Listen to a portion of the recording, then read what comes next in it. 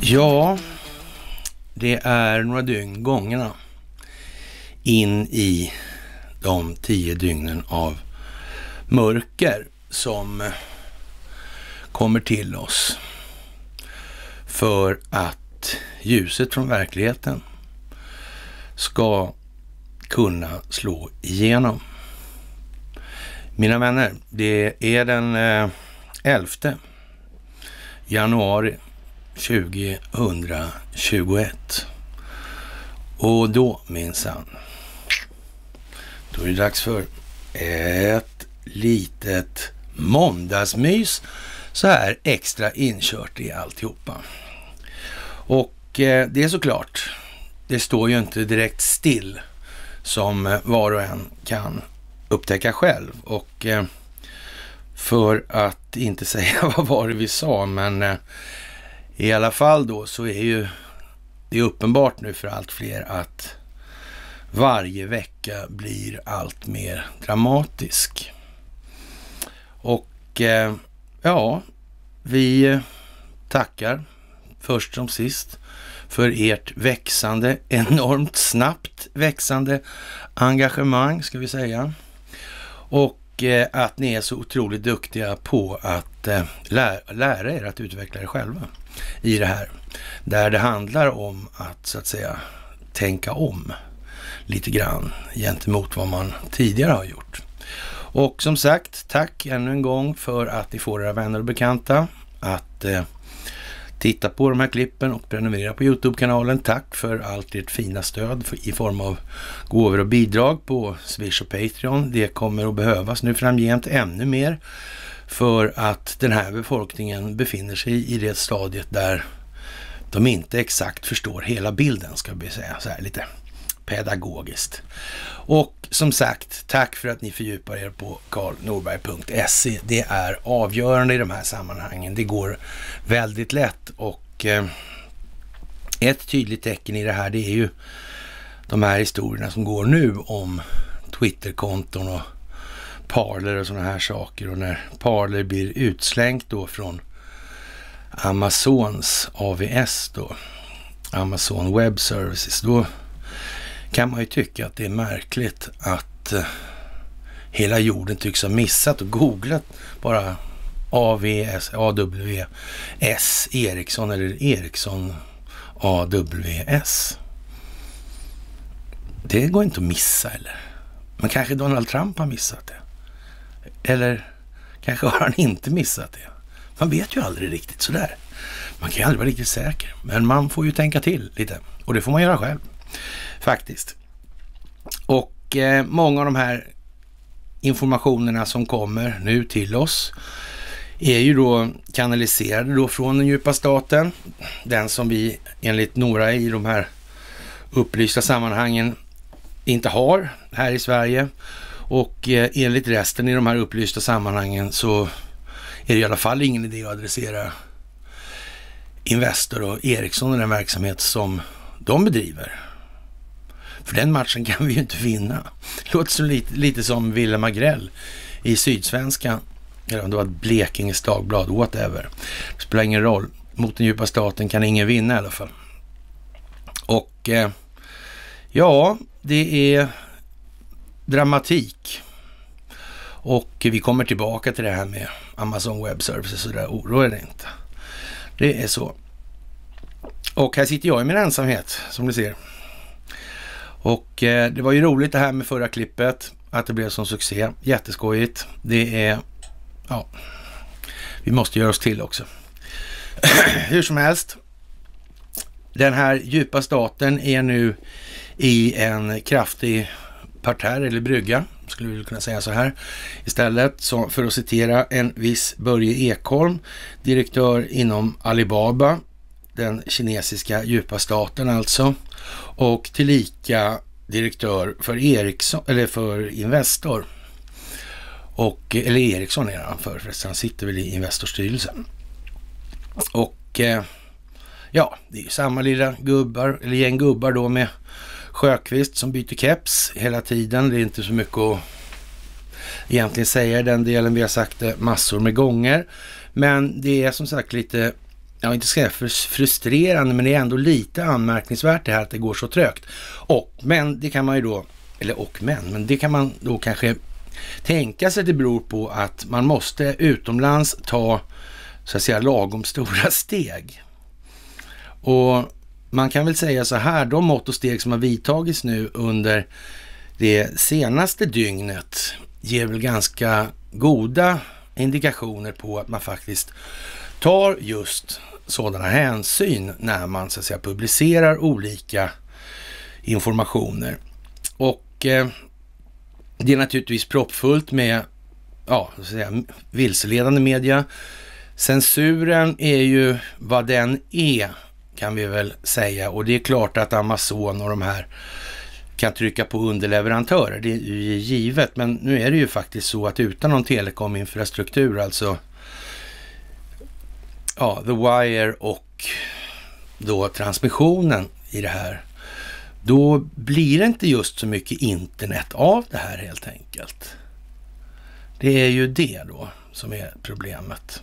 Och det här måste man komma ihåg hela tiden. Det går inte att falla in i de här gamla retoriska gångarna eller rännarbanorna där man säger att det är Kina å ena sidan, och det, eller det är kapitalismen å den ena sidan och så är det, är det kommunismen å andra sidan. Det, alltså det är så urbota korkat resonemang så det går inte. Det finns en och samma telekominfrastruktur och det moderna kriget består till 80 procent av informationshantering.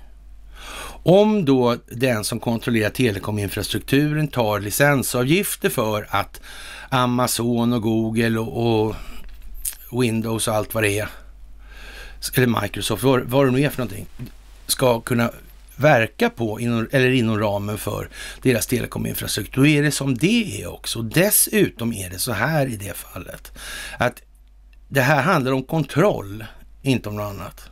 Och att det inte skulle förekomma dolda köpoptioner som krävs för att få teckna de här licenserna. Ja, det kan vi bara glömma helt enkelt.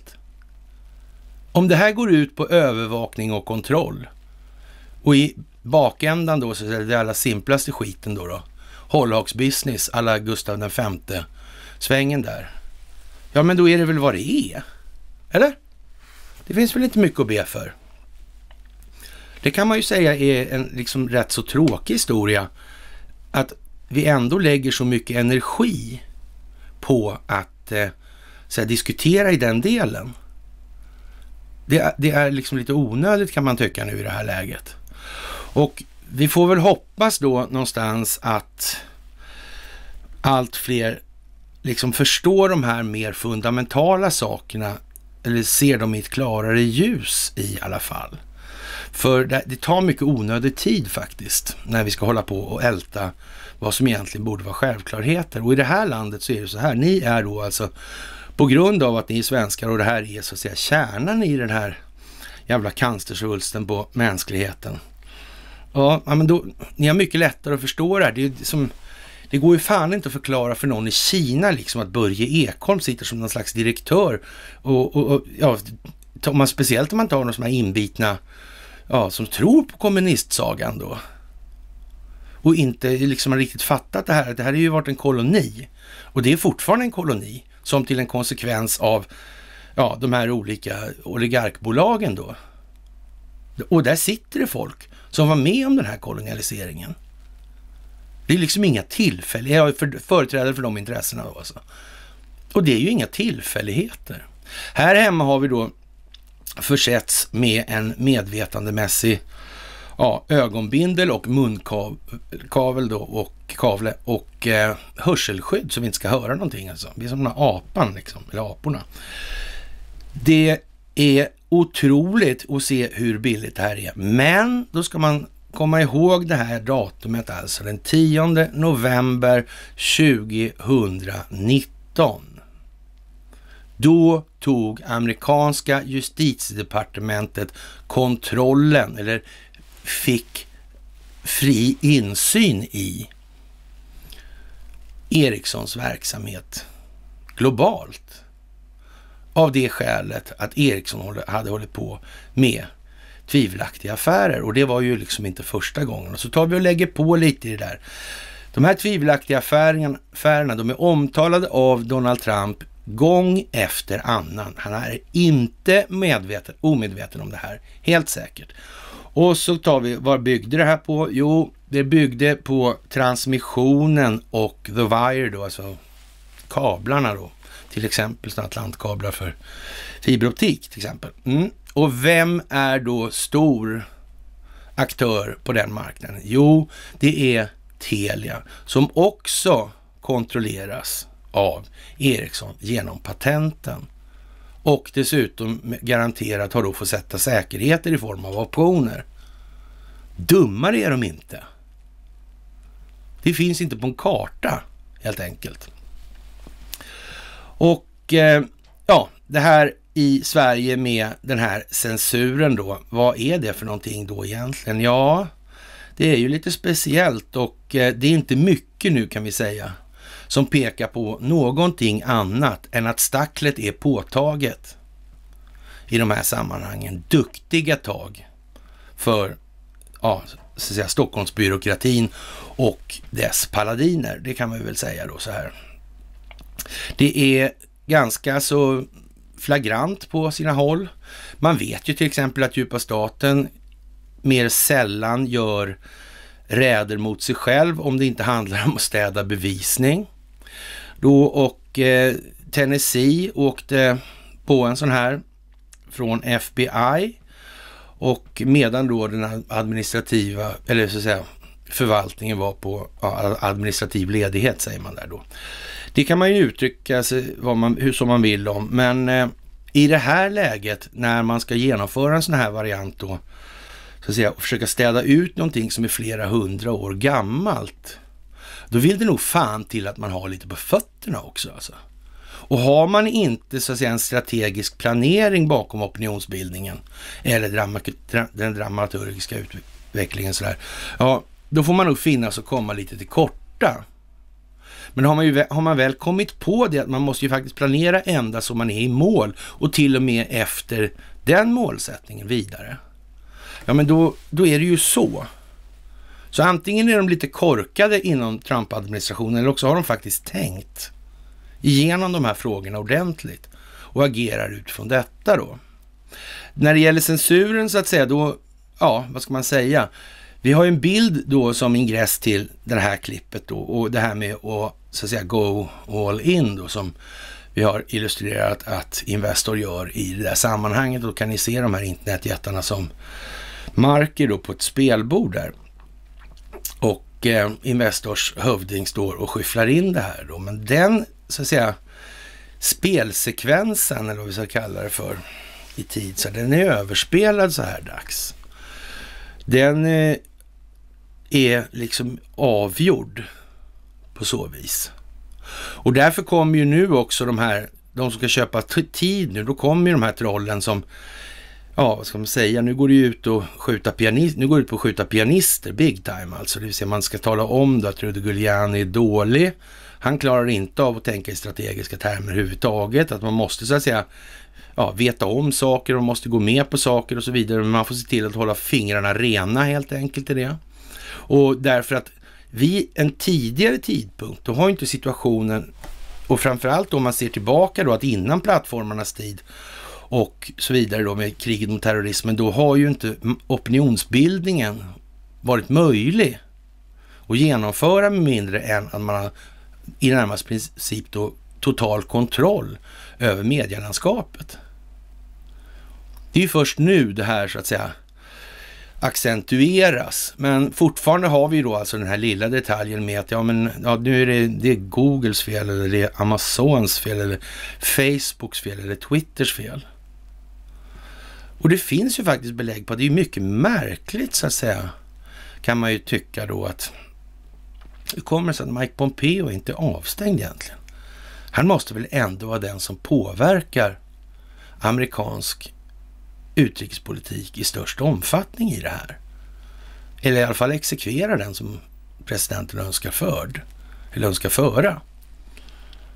Det måste väl vara så. Mm. Men det gäller att minnas det där datumet och vad som hände då. Och man kan väl säga så här att coronan bröt ju ut direkt och det, vi kommer tillbaka till det här flera gånger. För många av de här perspektiven knyts nu ihop på ett så att säga, ganska speciellt sätt. Och det kan man väl kanske säga kommer vara rätt så väckande för många. Det kommer inte att bli någonting, ja, som svenskar i allmänhet trodde av det här. Uppenbarligen så är det så. Och många av oss har ju upplevt då att eh, det, man vill ju gärna säga då att, eh, ja, vad var det jag sa eller så vidare. Och man ska väl egentligen då kanske i någon mån försöka lägga band på sig i den meningen också. Det vinner man ju inte mycket på egentligen. Men visst, det är svårt att inte falla för frestelsen mellan varven när det väl blir dags. Det är ju rätt uppenbart. Och eh, för att ta det här då bak till efter vi hade hållit det här förra myset då, så säger då Mike Pompeo på Twitter då, där det fortfarande var uppe, för hans del är det fortfarande öppet. Sådär så att eh, Today I met with President-elect Joe Biden, Secretary Designate A. Blinken in order to facil facilitate an orderly transition. Ja. Så. Det är ju liksom vad det är. Man får vara noga med bokstäverna här, helt enkelt. Och eh, ju närmare vi kommer den här eh, punkten för inflektion då av ljuset från verkligheten. Då, och där är vi nu rätt nära skulle man kunna säga utan tvivel faktiskt. Och det kommer ju att få en del omvälvande effekter faktiskt. Men mönstren är ju rätt givna i det här om vi tittar på sekvenserna. Eller perspektiven då i det här. Eller hur perspektiven då tittar på sekvenserna, hur de ligger. Då kan vi konstatera att Ja, Mike Pompeo han vet ju som sagt att we lie, we cheat and we steal. Då. Och eh, ja, han kan hålla masken helt enkelt. Han vet vad det här är för spel. Men han är ju då inte ännu borta från Twitter och det här. Och det är mycket speciellt med det här. Han twittrar vidare då då lördags, eller om det var i fredags kväll, att uh, it takes American leadership to end human trafficking around the world.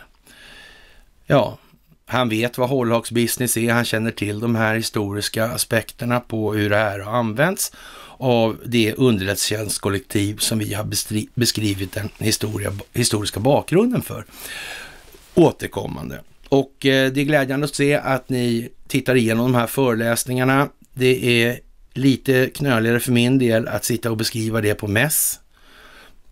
De där längderna då på en par, tre timmar så där, det blir lite tidskrävande kanske.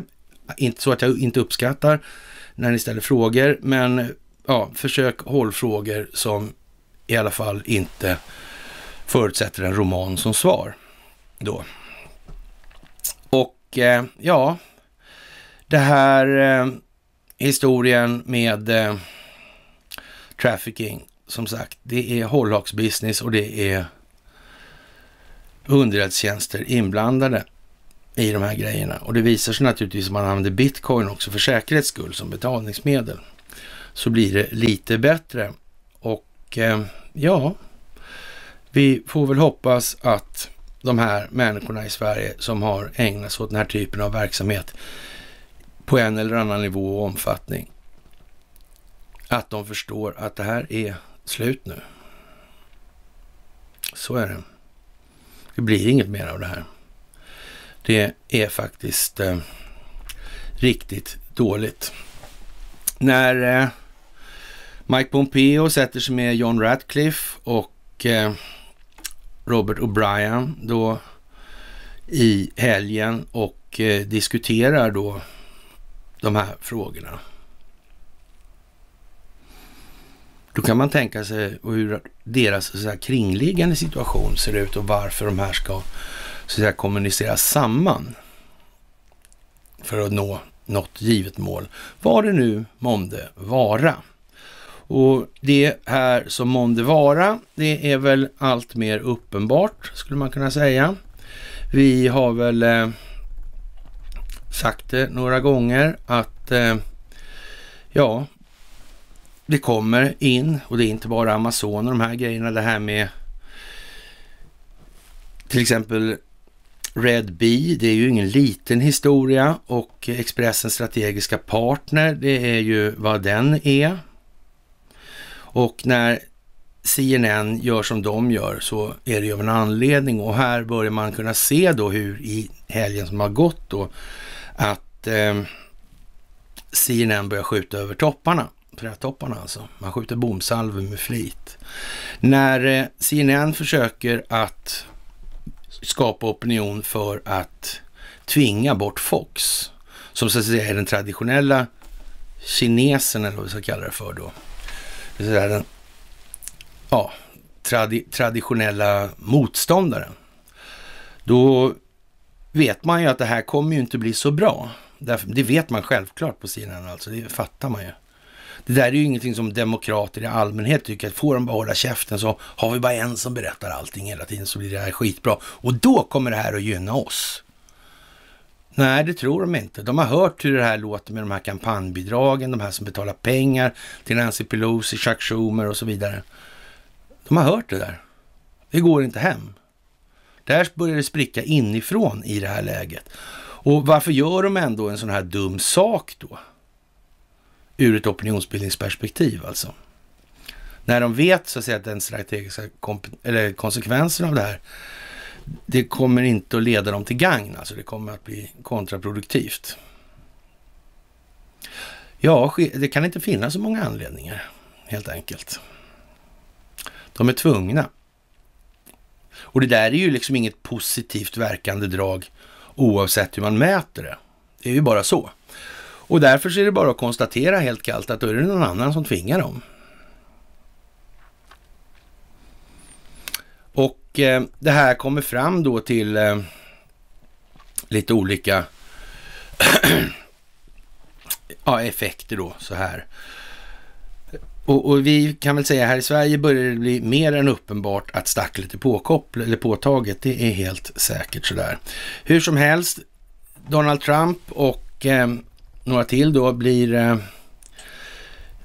ja, i helgen då, eller då av med sina Twitterkonton. Och eh, Donald Trump uppstår då som John Barron och lite andra sådana här eh, fantasifulla figurer då. Och eh, ja, som sagt, det där får man vara försiktig med. Nu kommer alltså massa skit om att Donald Trump är gripen, eller vad ska man säga så här, de använder det här jävla skitordet arresterad. Och det är bara det att ni ser det istället för orden alltså frihetsberövad eller något annat då. Alltså det där är något riktigt konstigt alltså. Det, det, är någonting som ger intrycket av att det är själva handlingen i ögonblicket när vederbörande frihetsberövas som är själva frågan, inte en eventuellt rättslig påföljd av ett agerande som har varit tidigare. Det här är ju helt otroligt konstigt alltså. Och den här lilla språkliga varianten som man kan tolka i det här, den är naturligtvis inte tillkommen av en slump. De här människorna som håller på med den här typen av verksamhet, de håller på med opinionsbildning som levebröd alltså. Så varje gång ni ser de här korkade språkliga förvrängningar och så vidare, då finns det en tanke bakom det. Det går inte att hela tiden tro att man är smartare än statsministern när man har blivit lurad i hundra år av statsministrarna. Alltså man får fan rycka upp sig lite här nu. Och det är ju liksom dilemmat globalt. Och, och det hjälper inte om man frihetsberövar eller arresterar en massa grejer om man inte har den rättsliga grunden klar. Och det finns ju liksom ingen självändamål att fördröja, fördröja någonting. Men i det här läget så kan man ju säga att det finns ju ett annat tanke. Om, det, om nu det moderna kriget handlar till så avgörande och stor del om opinionsbildning. Och då, då får man väl tänka så här att Ja, men det, vore, det bästa vore väl att man hade så att säga ett medialt vakuum Först har man så att säga trappat upp och skapat en enorm spänning ja, genom ett anslag. Då. Där i, i den här upptrappningen då så skapar man då ett behov av information genom att göra så. Och, när, och sen håller man så att säga det här på halster något dygn. Och sen släpper man en massa med information. Så, och det kommer att vara flera perspektiv då, om man nu planerar det på det viset. Det kommer att vara både det ena och det andra såklart. Vilket vi ser prov här nu. Och nu är det måndag. Och det ser vi prov på här nu i Sverige idag. Det är ju liksom inte bara löjeväckande, det är rent jävla tragiskt att se vilken jävla nivå det är på det här. Och det, i tragiken ligger då alltså att man tänker sig att det här är ändå det klimat som vi lever och verkar i. Och då blir man inte imponerad som svensk. Den här självrannsakan, den lär få pågå en stund om man säger. Och det här är ju samtidigt inga processer som är korta, det som står framför oss nu. Det är långa processer. Vi måste alla göra så mycket vi kan för att få ihop det här. Och ni är väl då vad man skulle säga då lite kaxigt, så här, ni är ju den elit som finns i det här landet när det kommer till de här frågorna. Inga i det här landet förstår det här mer övergripande och har därmed ett bättre beslutsunderlag eller problemformuleringsunderlag än vad ni gör. Det är ni gör det bäst alltså i det här. Och eh, det är fantastiskt att se ska jag säga. Det finns ett antal personer, jag tänkte börja dela ut beröm här och var ibland i alla fall så jag inte verkar soft. Några ja, hur som helst. Det är bra att ni öser på i det här alltså. Men var försiktiga med vad ni delar. Det är sånt som att, ja, då ska jag göra det och det och det och det. Men, och, och när det gäller den här parlerhistorien kan jag säga först som sist så här att givetvis då så var det inte okänt vad Amazon Web Service var för någonting och vilka som finns i det med kärnteknologin. Det är ju liksom inte på något sätt att missta sig på. Och det hade ganska så säkert de amerikanska underrättelsetjänsterna hyfsat klart för sig. Alltså hyfsat i alla fall. Och jo då, det är de medborgerliga friheterna. De är vad de är och eh, ja, de måste alltså visa som ett pedagogiskt exempel hur situationen ser ut i verkligheten och det som vi har sagt återkommande i det här att det här är det största folkbildningsprojektet på planetens historia. Ja, givet då. Vi har ju ingen kunskap om tidigare civilisationer på det sättet och så vidare. Men om vi nu tar utifrån det vi vet i alla fall så är det så. Och eh, ja, med det så, så, kan vi väl konstatera att då finns det väl förmodligen en, en del att tänka på för alla helt enkelt. Det är svårt att veta allting om allting, nämligen. Vi har, eh, så att säga, uppenbarligen då, och det här läcker ju in i Sverige naturligtvis, att de tar bort de här kontona. Och, och, det kan ju inte komma som någon exakt överraskning och det fanns ju dessutom två parametrar som, vi, som man gjorde att man visste att det här med parler måste dras som det blev. Det var ju liksom inget snack. Men effekten av det här nu, det är ju att alla uppfattar att det är ett jävla diktatursamhälle, vilket det med all rätta är när man beskriver det. Det är så. Så är det. Men för att förstå det så måste man visa med pedagogiska exempel som skapar tillräckliga förståelsemässiga effekter. Det är så. Annars går inte det här. Och då måste folk förstå att det, liksom, det är ju kärnan i det här. Det är ju kärnteknologin som alla ovanpåliggande teknologier är beroende av. Tar du bort kärnteknologin, ja, då finns det ingenting alls av det här. Det är bara så. Och det är ju inte sådär jättesvårt kan man väl tycka kanske då. Det finns en, eh, ja, en, vad ska man säga, då ordförande i en eh, sina county som har skrivit ett brev, ett långt och bra brev. Det brevet är ju kanske bra att läsa och ta till sig. Och eh, många av de här grejerna som finns nu är ju som sagt ganska lätta att så resonera sig fram till om det här är rimligt eller inte. Att då Dan Bongino som var med och startade det, eller skapade eller vad vi ska uttrycka det här Parler, då inte skulle begripa det här med att Amazon är vad det är och kontrollerat av Ericsson. Det finns inte på en karta att han inte fattar det. Så det där är teater, men det är teater ur ett opinionsbildningsmässigt perspektiv som är ägnat att skapa ett ökat medvetet medvetande hos befolkningarna. Det är vad det är. Inget annat.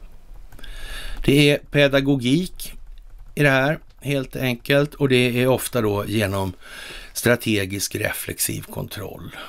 Man spelar på känslorna för att få, ja, det är ett effektsökeri helt enkelt och ingenting annat. Och eh, några håller sig väl lite stramare. Rudigiani tycker att eh, Demokraterna har klivit i någonting mer än vad de förstår och det kan vi väl hålla med om att det är fallet. Då hade de inte gjort, de hade aldrig hamnat i den här situationen de nu befinner sig. Om de hade förstått hela spelet, hela resan i det här då. Och det kan man ju tycka är ju lite märkligt. Men då får man också tänka så här att det är ju egennytta som har legat till grund för deras handlingar under överskådlig tid. Det är ju inte något annat. Och därför blir också planeringshorisonten något snävare alltså. Perspektiven blir inte lika djupa. Det är inte så att de tänker på generationer bort eller barnens bästa främst eller och så vidare. Det är inte så helt enkelt. Och eh, först ner var väl då, antar jag, War Room med Steve Bannon och eh, den åkte från Youtube. Så. Man kan väl säga att här i Sverige så är det väl inte sådär jävligt troligt i alla fall att eh, Facebook och Youtube kommer stänga ner på det sättet. Det får nog bli en allmängiltig förklaring till, eller anledning till att de stänger ner det ena eller andra. Nu ska det visst snöa något helt förjävligt. Ska komma 12 meter med eh, rysk coronasnö och coronasmitta hela Sverige enligt svenska medier ungefär. Ja, give or take några bokstäver kanske, men ja, i alla fall, ni fattar.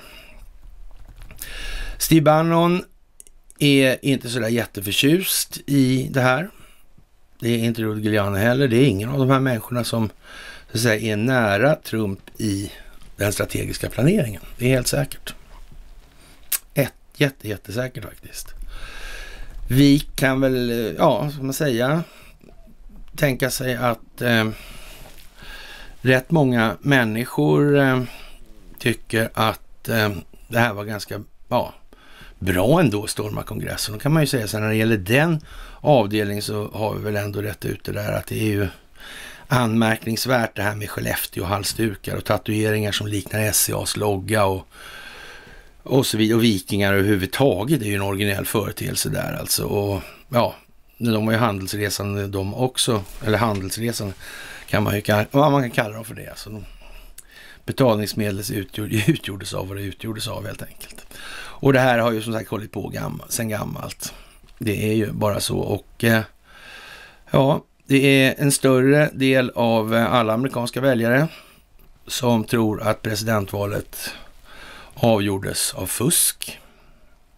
Och det är ju som sagt inget ja, jättebra betyg för den administration, eller vad man ska säga så här, eller istället ska man säga så här, den, den amerikanska statsförvaltningen när det blir på det viset. Och när man då som Donald Trump har gjort som han har gjort, och det har han gjort av den anledningen att, som vi har sagt att han måste göra, att eh, man måste prova alla rättsliga vägar. Färdigt. Annars kommer, man, kommer diskussionen ovillkorligen hamna i det att ja, men ni kunde ha gjort så här. Alltså när alla andra vägar är uppenbarligen stängda, då får man använda så att säga, de metoder som i de här lägena anses som fruktansvärt kontroversiella. Och men då har man ju så att säga samtidigt en plikt att backa tillbaka det här för att visa att så att säga den dömande, den verkställande och den lagstiftande församlingen, eller vad ska man säga, grenen av maktdelningsprincipen då, grenarna av maktdelningsprincipen då har misslyckats med att stävja korruption. Och vad vi har här i Sverige i de här sammanhangen och i, ja, alltså säga i Skandinavien då, speciellt de här tre monarkierna då, det är ju bara vad det är helt enkelt. Och det är vad vi har att ta, ta tag i. Så, och eh, ja, vi börjar ju förstå att det är ganska så illa som Skandinavien sitter till i det här och ett samarbete är ju naturligtvis någonting som underlättar situationen för alla Skandinaviens medborgare i det här. Det är tjurigt värre i Danmark nu kan man säga. Där är temperaturen het. Det är långa heta nätter där. Ur andra perspektiven vad dansk mjukporr har inneburit i alla fall. Eller inneburit. Jävla svenska inneburit. Ja, jag blir aldrig förbannad på det här jävla arresterade uttrycket. Tappar på helt formerna där alltså. Ja. Men det här, eh, ja, WhatsApp-historien eh, där då. Som då säger till sina användare att antingen delar ni data med Facebook eller också slutar ni använda den här appen. Vi kommer tillbaka till WhatsApp i den delen. Och vi ska se att det här fyller sina roller ur ett vidare perspektiv som dessutom är djupare faktiskt. Det går runt, runt det här, men vi är nere på några få parter helt enkelt. Det är, ja, Italien, hej då NATO, helt enkelt.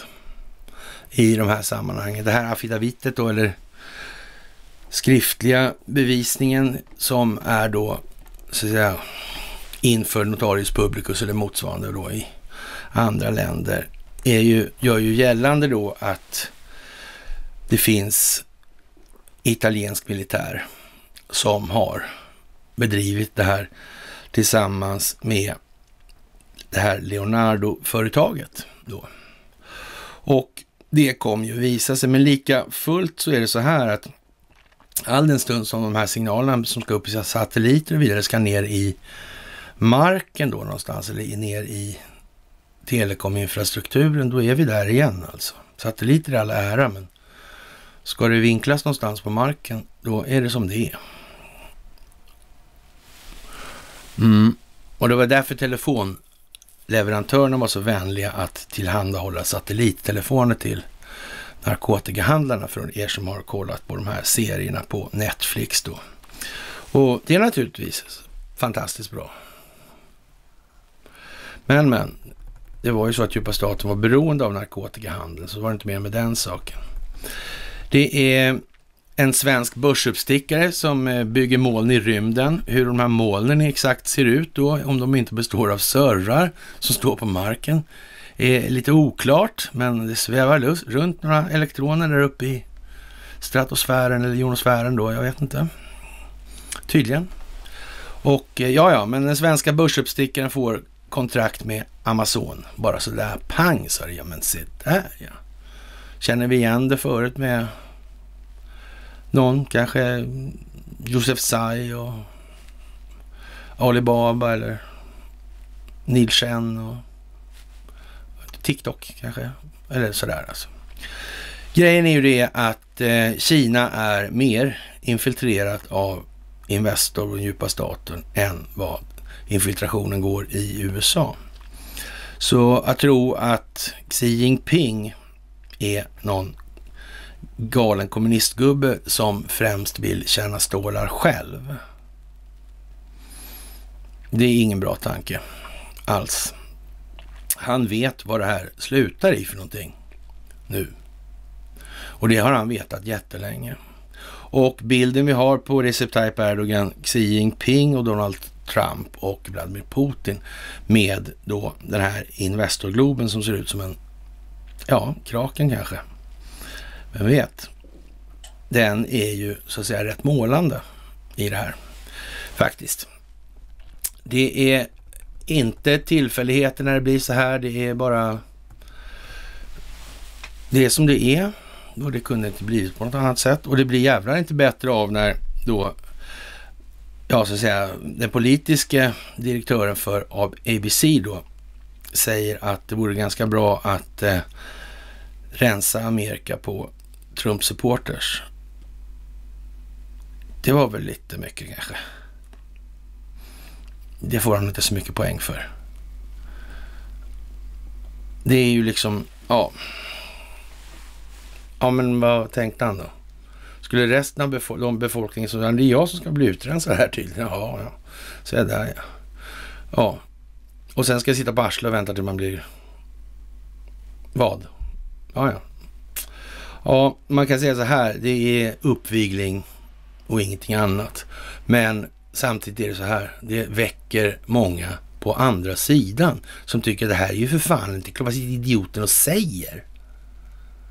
Alltså nu handlar det inte om att få de som stödjer Donald Trump att stödja Donald Trump mer. Nu handlar det om att få de som inte stödjer Donald Trump och inse att fan vad vi är fel på bollen. Det är ju så. Det är vad det här handlar om nu. Har man opinionen med sig, då kan man göra vad man vill. Har man den inte med sig kan man inte göra någonting alls. När, ja, när Nancy Pelosi håller på som hon gör nu, ja då är det ju som det är. Men det är liksom inte så att hon har någon större handlingsfrihet i problemformuleringen. Det är det ju inte. Det här med att säga att vi ska bomba Kim, Kim Kalsong liksom. Eller nu kommer Donald Trump anfalla Iran med kärnvapen. Men det är ju ingen som tror det har bäring på verkligheten. Inte ens den dummaste jävla svensk som är liksom trogen den djupa staten. Den värsta verklighetsförnekan kan till och med begripa att äh, det där vet jag inte. Det, det stämmer inte. Det är ganska så, ja, vad ska vi säga, signifikativt. Man kunde säga då att Apple gav Parler en 24 timmars deadline för att lyda. Men det spelade ändå ingen roll. För det var Amazon som skulle bestämma det där. Ja, och det är ju i alla fall, och sen visade det sig då att man dessutom hade kört på någon korttidslicens i det här. Och, och man hade ändå, den bröts ju, gick ju ut igår då för säkerhets skull när de åkte ur. Så det var inte som, jaha. Ja, men det visste de inte heller om. De hade liksom startat där för den här plattformen då med allt vad det innebär och sen hade de glömt de detaljerna. Att, liksom att det var de som hade hand om telekominfrastrukturen som hade de grundläggande licenskraven. Och det andra bygger på det som är i botten, grunden.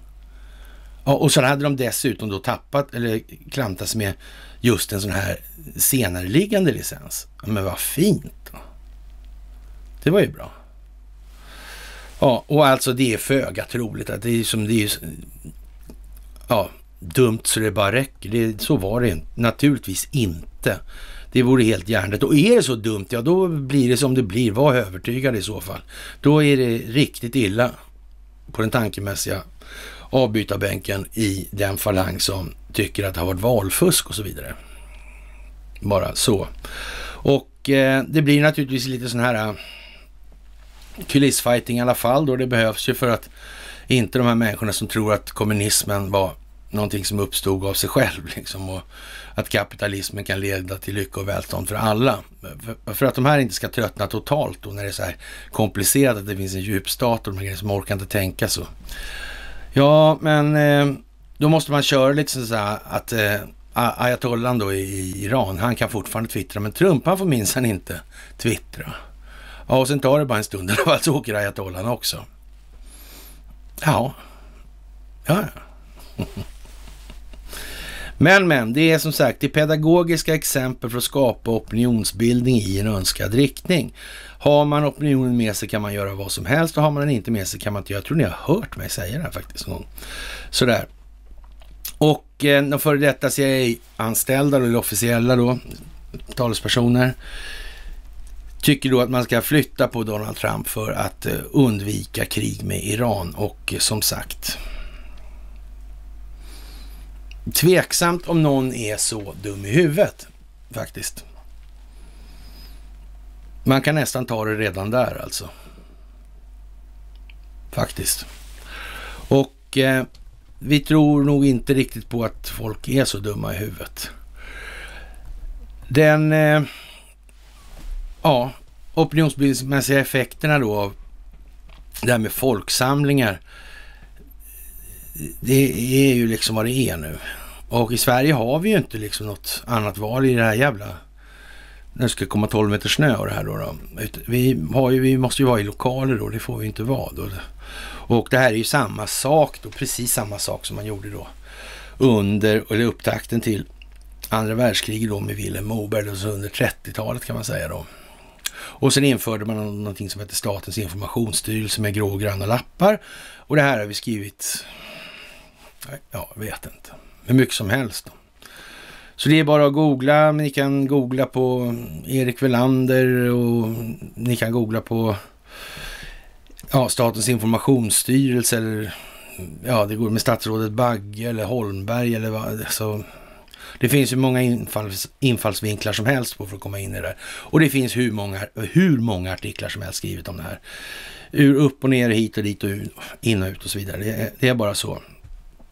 Och eh, ja, det är väl eh, som vanligt. Det gäller att eh, vara artig kall och hålla korten nära kroppen nu. Man spelar inte fel kort. Eller spelar inte kort i fel tid ska jag säga.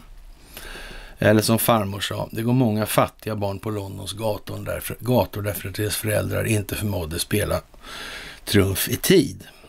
Så, och så är det ju faktiskt när det gäller det här.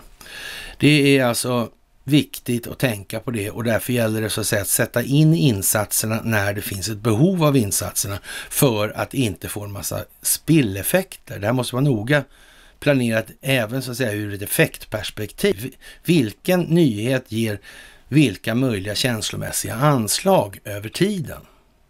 Det är det här liksom. Det är lite annorlunda sätt att tänka på och eh, det är helt fundamentalt för att komma någon vettig stans i resonemanget. Och det här är ju som sagt, det förstår alla, det är ingen så att säga briljant grej för människor i allmänhet, fullständigt ovana av den enkla anledningen att det är meningen att de inte ska vara vana. För det hade inte fungerat om människor hade förstått det här bättre. Då hade inte systemet sett ut som det gör. Och det beklaglig, eller beklagningsvis, eller beklagningsvis, det är väl eh, som det är.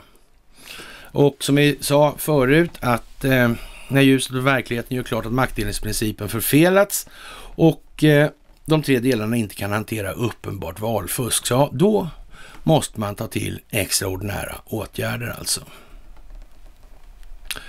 Och då finns det ju sådana här Insurrection Acts då och eh, ja, vi får väl se vad som kommer var, helt enkelt. Men eh, så mycket står ju i alla fall klart att det finns teknisk bevisning och det finns tillräckligt med bevisning för att leda allt det här i mål. Långt mer dessutom. Men för att kunna visa då att de här tre delarna inom maktdelningsprincipen verkligen är ruttna och att det har begåtts mycket fel, ja då måste man dra det så här långt också. Det får inte finnas fler vägar inom ramen för systemet. Alla vägar måste vara utdömda innan man gör det här. Annars kommer man bli ett offer för den möjligheten att bedriva opinionsbildning som beskriver att man faktiskt bara fuskar till sig det här av egennytta. Egennyttiga skäl alltså. Och eh, ja, det är rätt så bra att försöka komma ihåg det här, även om det är lite mässande på det viset då. Och och eh, ja, Nancy är ju ytterligt tveksam alltså, det får man ju säga. När det kommer massor med filmklipp och grejer på Nancy Pelosi, det kommer om hennes brorsa, det kommer om det ena och det andra. Då får man vara försiktig nu alltså. Med facit i hand kommer man kunna konstatera att Nancy, hon gjorde rätt mycket för att det här skulle bli som det faktiskt blev. Så är det. Och det ska man inte mista respekten för, att det kan vara så. Samma sak med Joe Biden. Det vet inte vi. Men det är många saker som tyder på att så där klumpig och dum, det ska man inte misstänka folk för att vara. Man ska räkna med att de är smartare.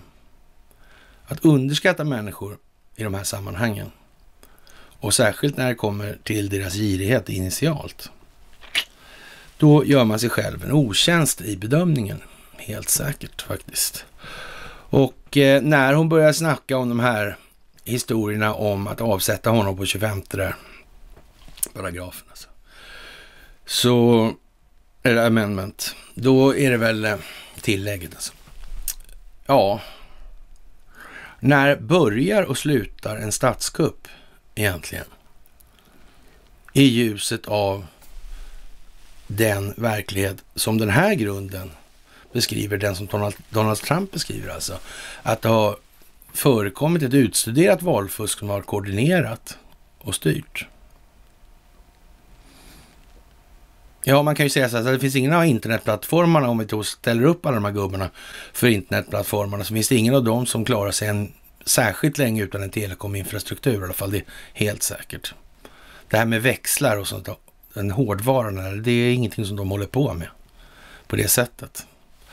Och eh, ja, någonstans koordineras det ju ifrån, det kan man väl säga. Men eh, samtidigt finns det rätt mycket besvikna människor nu i det här och man kan väl säga då att förmodligen är det då övertids, eller inte övertidsstopp då på presidentens personskydd just nu. Det, det, kan vi nog utgå ifrån. Men när då så där börjar gå över till sådana här rena dumheter som att Donald Trump är nog gripen sägs det och så vidare. Ja, men då så. Men att han är tyst nu, det beror på annat. Det är för att vi har haft det här anslaget, vi har haft den här upptrappningen. Folk är som galna efter information. Och eh, jag tycker det är jätteroligt. Jag tycker ju faktiskt är fantastiskt med det intresse som ni och omvärlden uppvisar för det vi håller på med just nu. Och det, återigen vill jag framhålla det här att tro lite mer på er själva och er egen förmåga liksom att bedöma det här. Och tänk då framförallt på att de här amerikanska sidorna, de har inte en susning om det här med telekominfrastruktur och kraftförsörjning. Alltså om de bara visste att det är samma koncern som styr det här i stort sett i hela världen. Ja, men då, då, skulle de ju fatta det här på en gång. Men nu blir ju så att säga deras bedömningsgrunder, de blir ju lite, om vi säger så här, de står inte på fast grund eller omskrivet då, de är lite svävande. Så det blir lite felslut där då, helt enkelt. Och det här är ingenting som behöver drabba er. Ni behöver bara komma ihåg, om man tar Pakistan till exempel, då, ja, men då är det bara att titta helt enkelt. Vad är det här för någonting som vi ser framför oss nu? Ja, vi ser ett land och så googlar man då Ericsson Pakistan, eller, eller så ja det kan man ju också göra då, för det kommer man till samma adress, nämligen Arsenalsgatan 8C. Så det spelar ingen roll om vi googlar ABB eller Ericsson faktiskt, det sak samma där också. Och det här kan man ju då uppleva då i, i långt över 100 länder, eller 150 länder på planeten då. Och med avseende att det finns dryga 200 så får man ändå säga att det är en rätt betydande del. Det är i alla fall en klar världsdominans som vi uttrycker oss, inte bara violblygt alltså. Mm. Det kan vi säga. Då, och eh, ja, det är som sagt mycket grejer då. då. Och det, ja, man... Eh, Parler åkte ut där från Google Store och så vidare, men det här är väl... Eh, samtidigt kan man väl säga så här att Twitters aktie går ner när man håller på så här och trackar. Och som vi har sagt, det här med infrastrukturfrågor eller så att säga vitala infrastrukturella frågor då, då, eller funktioner. De kan ju liksom inte ligga i händerna på enskilda vinstmaximeringsintressen. Det fungerar inte så. För då blir det till nytta för få på mångas bekostnad med viss automatik. Någonting som samhället inte klarar sig utan kan inte ligga i händerna på enskilda vinstmaximeringsintressen enbart. Det måste finnas någonting som garanterar samhällets fortlevnad i det. Och det finns det inte.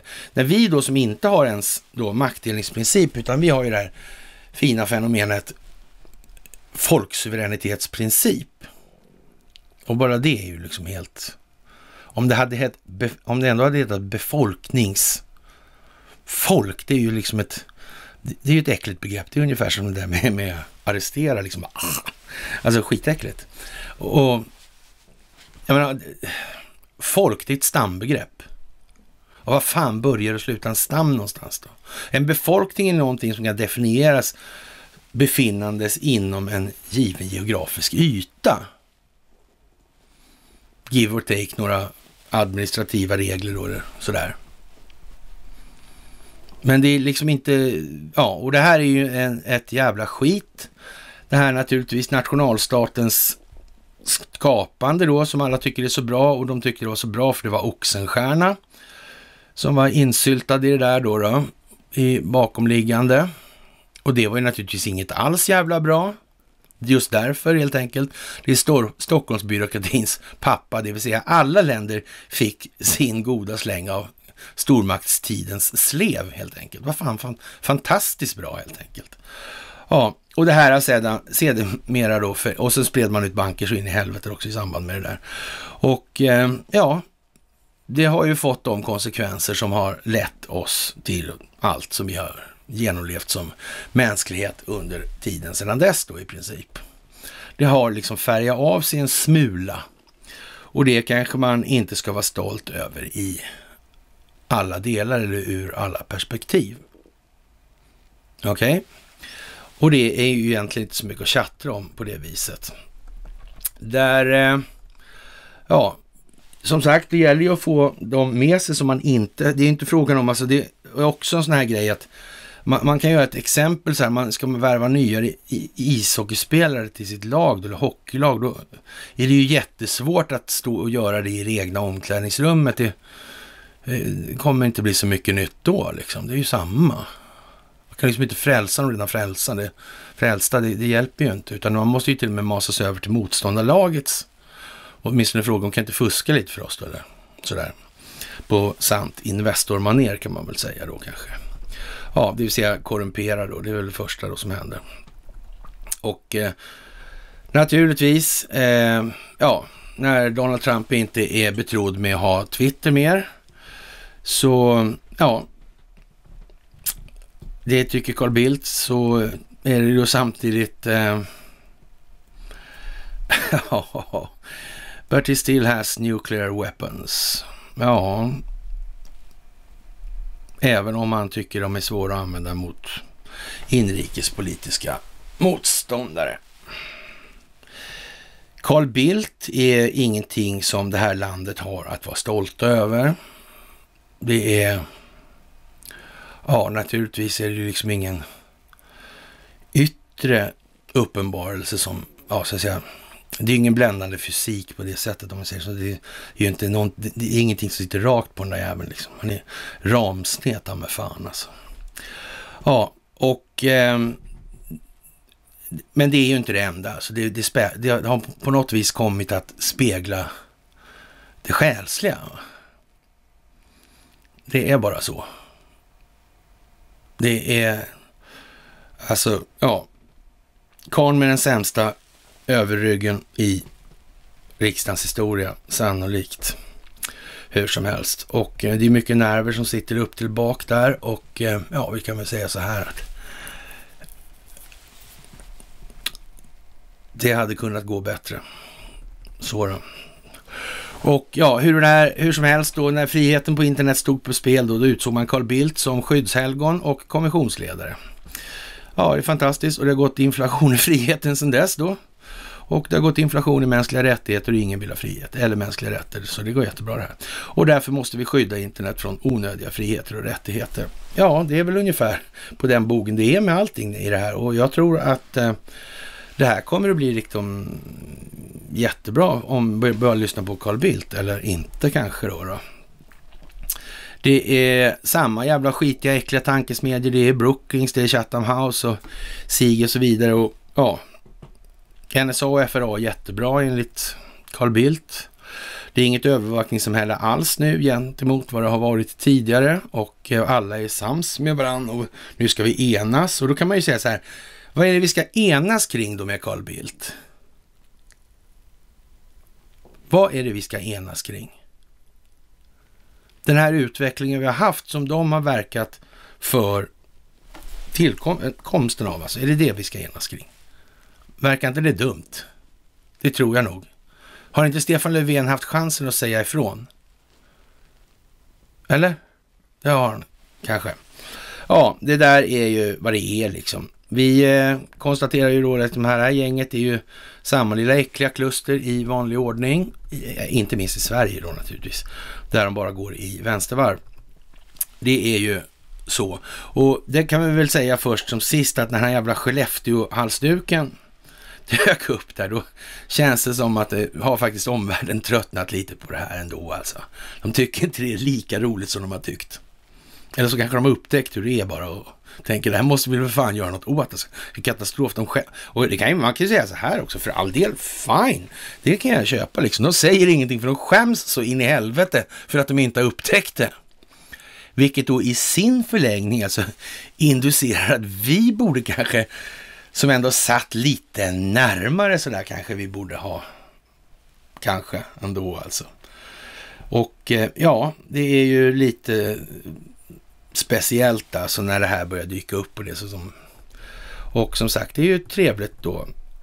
En Skellefteå-halsduk och det här var alltså ur, vad hette den där jävla tidningen då? då Västernorrlands Nytt eller Västerbottens Allehanda eller vad fan det var. Det är ju som det är. Men eh, vi får väl hoppas då att eh, omvärlden har viss förståelse för att vi har levt under hårt eh, opinionsbildningsmässigt förtryck under rätt lång tid i det här landet. Och, och, vi kan ju alltid säga att det var ju lång tid innan Amerikans, eller Amerikas förenta stater ens existerade. Och ja, visst må vara så att det fanns koloniverksamhet där och så. Och, och förvisso också att Axel Oxenstierna de var inblandade i det också då. Men, men, men, i alla fall då. Det är ju som det gäller familjen Oxenstierna i vart fall. Det är rätt så speciellt helt enkelt. Vi eh, får nog tänka oss en del kritik vad det lider. Och eh, Mike Pompeo, han tycker naturligtvis att eh, Parisavtalet är bara skit. Det är en bluff då, rakt av. Och det hjälper inte miljön någonting. Och det är naturligtvis en inte obetydlig del sanning i det påståendet. Däremot är då bildvalet som de håller sig med i de där sammanhangen är då alltid intressant då, för det är mycket 5G på bilden i det här på när Michael Pompeo delar det här på Twitter och det är en kommunistisk kinesisk flagga. Vi kommer tillbaka till den här kinesiska kommunistiska flaggan då och eh, hur man så att säga fram till ungefär då den lördagen då, i lördags, någonstans lördags tidigt kanske, fortfarande kör Kina som Kina. Det upphör man då senaste det har man upphört lite grann med det. Det har i alla fall Mike Pompeo som finns kvar på Twitter då. Häpnadsväckande nog då. Då kan vi konstatera i, i det sammanhanget att han börjar splittra på det här.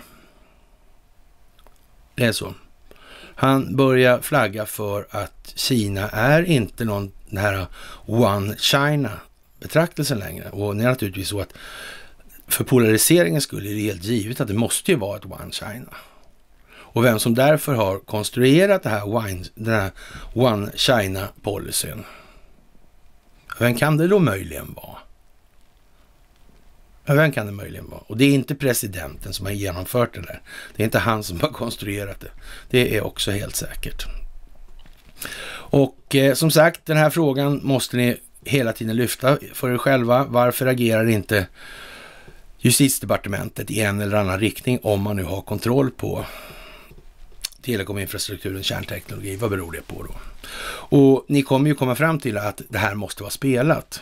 Då stämmer det. Annars är det mycket svårt att få ihop det här. Då är det världens fladder. Och eh, det är inte så att det här som Börje Ekholm sa tidigare att ja, jag ser ingen framför oss. Nej, men vad, så har det hänt sedan dess då? Är det något annat nu då? Eller vad fan, är, inte, är det inte så längre?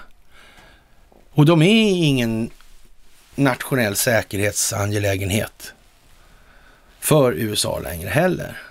Det är något annat nu alltså. Eller vad är det för någonting då? Vad är England? Hur är det där då? Hur har det varit i Turkiet till Telia flydde här förleden nu? Hur har det varit där egentligen? Med Vodafone och de här grejerna och Turkcell. Det är bara så. Helt enkelt.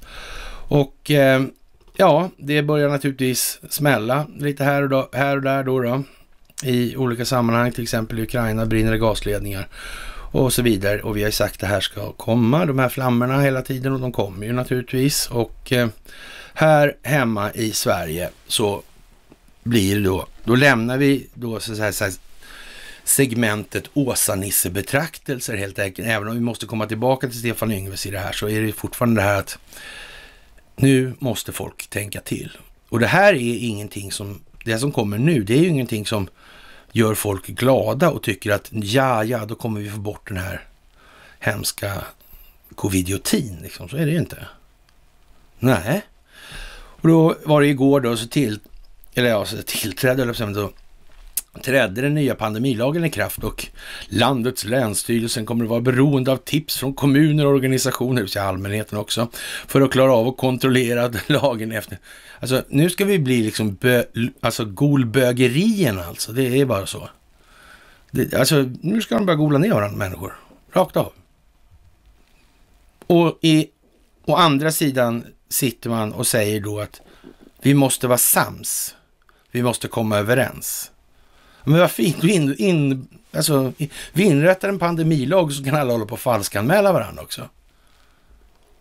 Vad är då brottet för falsk tillvitelse? Alltså vi tillvitar någon någonting, alltså vi påstår att någon har gjort ett brott mot de här, ja, vad som föranstaltas då i den här lagen då.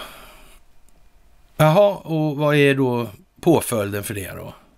För det är ju ingen risk liksom att alla kommer att ringa in bara och för att jävlas med dem de inte tycker om då. Det är inte någon enda människa som skulle kunna tänka sig så här, ja men nu såg vi faktiskt, vi tog en bild här på, nu betedde han sig så där och så vidare. Ja, har man en bild, då har man ett bildbevis åtminstone sådär, men vad nu det är värt i de här tiderna, det ska man väl inte heller, ska jag säga. Ja, och eh, Länsstyrelsen då tycker i Västra Götaland att vi får gå på riskbedömning och tillförlitliga tips. Ja, men vad fint. Det ska vara tillförlitligt, det ska inte ens vara sakliga grunder i dem vid så trovärdighetsbedömningen av de här tipsen då. då. Nej, nej, men då blir det, så, det blir säkert jättebra allting. Och det gäller då främst gym, simhallar och butiker i det här.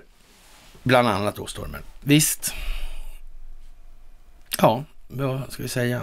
Eh, när det gäller kronidiotin då, så där, det är liksom vad det är, det är kronidioti. Och eh, ja, då är det väl bara så att eh, om inte någon har fattat att det här handlar om att skapa en scapegoat eller så att säga en flyktväg eller en syndabock för det ekonomiska haveriet, ja men fine liksom. Då kan vi säga så här, då finns det en del att lära nu. Men det går ju ändå om vi är flera. Det är det. Och det är det här det bygger på alltihopa. Att ni gör det ni gör, ni delar vidare och så vidare och så vidare. Och ja, så kör vi liksom. Vi måste göra det här tillsammans. Och vi gör det här tillsammans. Och ja, som ni själva ser, det här i Sverige är det soprent. Det finns ingen vidd i analysen överhuvudtaget. Det är rent, det är vi och sen är det inte någonting annat. När det gäller utomlands så är det klart, de har inte ens förutsättningarna att ta sig an det här problemet med ABB och i det historiska problem, eller genom historien som har växt fram genom förekomsten av Ericsson AB ABB i de så att säga, infrastrukturella funktioner som de har haft i länder. Det ju, går ju liksom inte att... De fattar inte att det är så bara. Det, de kan inte ens tro det liksom. Det, det som pinsamma är ju att det räcker med att åka till Norge så är det, är det betydligt färre som förstår det här. Och, och, jag är övertygad om att det finns massor med norrmän som på allvar tror att Nobelverksamheten och det här är ju liksom en, ja, det är väl norskt liksom. De har ju fredspris där och grejer. Och Norsk Hydro måste ju vara helnorsk liksom. Det har ju väl inget med Sverige att göra någonting liksom. Det är, ja men så. Och eh, som sagt, Bannon åker ut från YouTube. Det finns många svenskar som eh, tycker att det var väl inte sådär jättebra kanske. Det var till och med helt förjävligt. Vilka jävla idioter liksom. Och eh, det är jävla fascistmetoder och det är liksom, det tar ju fart känslorna och sådär. Och eh, det är ju helt otroligt egentligen kan man tänka sig så här, det tycker jag. Normalt sett är det ju på det viset att, eh, så att säga, all reklam är bra reklam. Någon reklam är i alla fall bra reklam. Och eh, på det viset är det ju otroligt märkligt. Och hur kommer det sig att man ens publicerar det där? Det är ju bara tiga. Hur kommer det sig att man kommer på den osedvanligt korkade jävla idén att publicera att Steve Bannon har blivit avstängd från YouTube? Jag menar, det fanns väl, ja, rätt många kan man tänka sig som istället för att skita i hela frågan, för eftersom det inte fanns någon fråga att bry sig om, istället slog upp Steve Bannon för att lyssna. Vad har han att säga då Så fick han avstängd? Jaha, och sen då? Vad hände då? Men äh, skulle man på allvar tro, det är meningen att man ska på allvar tro att äh, opinionsbildningsstrategerna, de tyckte att det var det bästa att göra och gå ut och så. Jaha. Det kanske det inte var helt enkelt. Nej, det var helt enkelt så att det där var i säck innan det kom i påse. Helt enkelt. Med andra ord, det finns stackel på nu som dras åt. Inte blir det sådär jävla mycket bättre när Stefan Ingves Rosa-Nisse blir ja, Central Banker of the Year. Då tänker man så här, det här är ju för fan ett skämt när det kommer samtidigt. Och han är ju väldigt då in, eh, in, innovativ och uppfinningsrik och allt det här och säger själv att han är en schaman och estradör. Jaha, hans business det är förtroendebusiness liksom. Ja. ja. Han är påhittig med lögnerna skulle man kunna säga då alltså. Tycker om att spela teater. Eh, lyckade kombinationer naturligtvis. Ja. Och ja, vad ska man säga? Han eh, har guldtacke på bilden framför sig själv och eh, ja, har någon liten kartbild där bakom och eh, det är väl inte utan att eh, Riksbanken och guld är en fråga som ligger i tiden vad det lider nu. Det har funnits guld i Riksbankens valv, valv förr, om vi säger som så. Statens offentliga utredningar 1999 kolon 20. Så är det så. Det kommer att komma upp. Och det blir bara dummare när Axios meddelar att Dominion stämmer Sidney Powell för defamation, alltså förtal alltså. Och vill ha blyga 1,3 miljarder dollar i skadestånd. Okej. Okay. Världens, ja förmodligen främste förtalsadvokat heter Lynn Woods. Som jobbar ihop med Sidney Powell. Man kan väl säga så här, det är i alla fall ett helt säkert sätt att få upp den bevisning som finns i ljuset av verkligheten. För den måste ju upp nu för att visa att man antingen har hållit på med defamation eller förtal. Eller också faktiskt har man på fötterna för det man säger. Och dessutom finns då världens främsta förtalsadvokat i ekvationen. Men var inte det ett genialiskt strategiskt beslut av någon? Äh? Nej, men alltså, eller hur? Det, man kan bara skratta åt det. Det är jättekonstigt. Eller det är inte jättekonstigt, det är helt givet vad det är, men skitsamma då.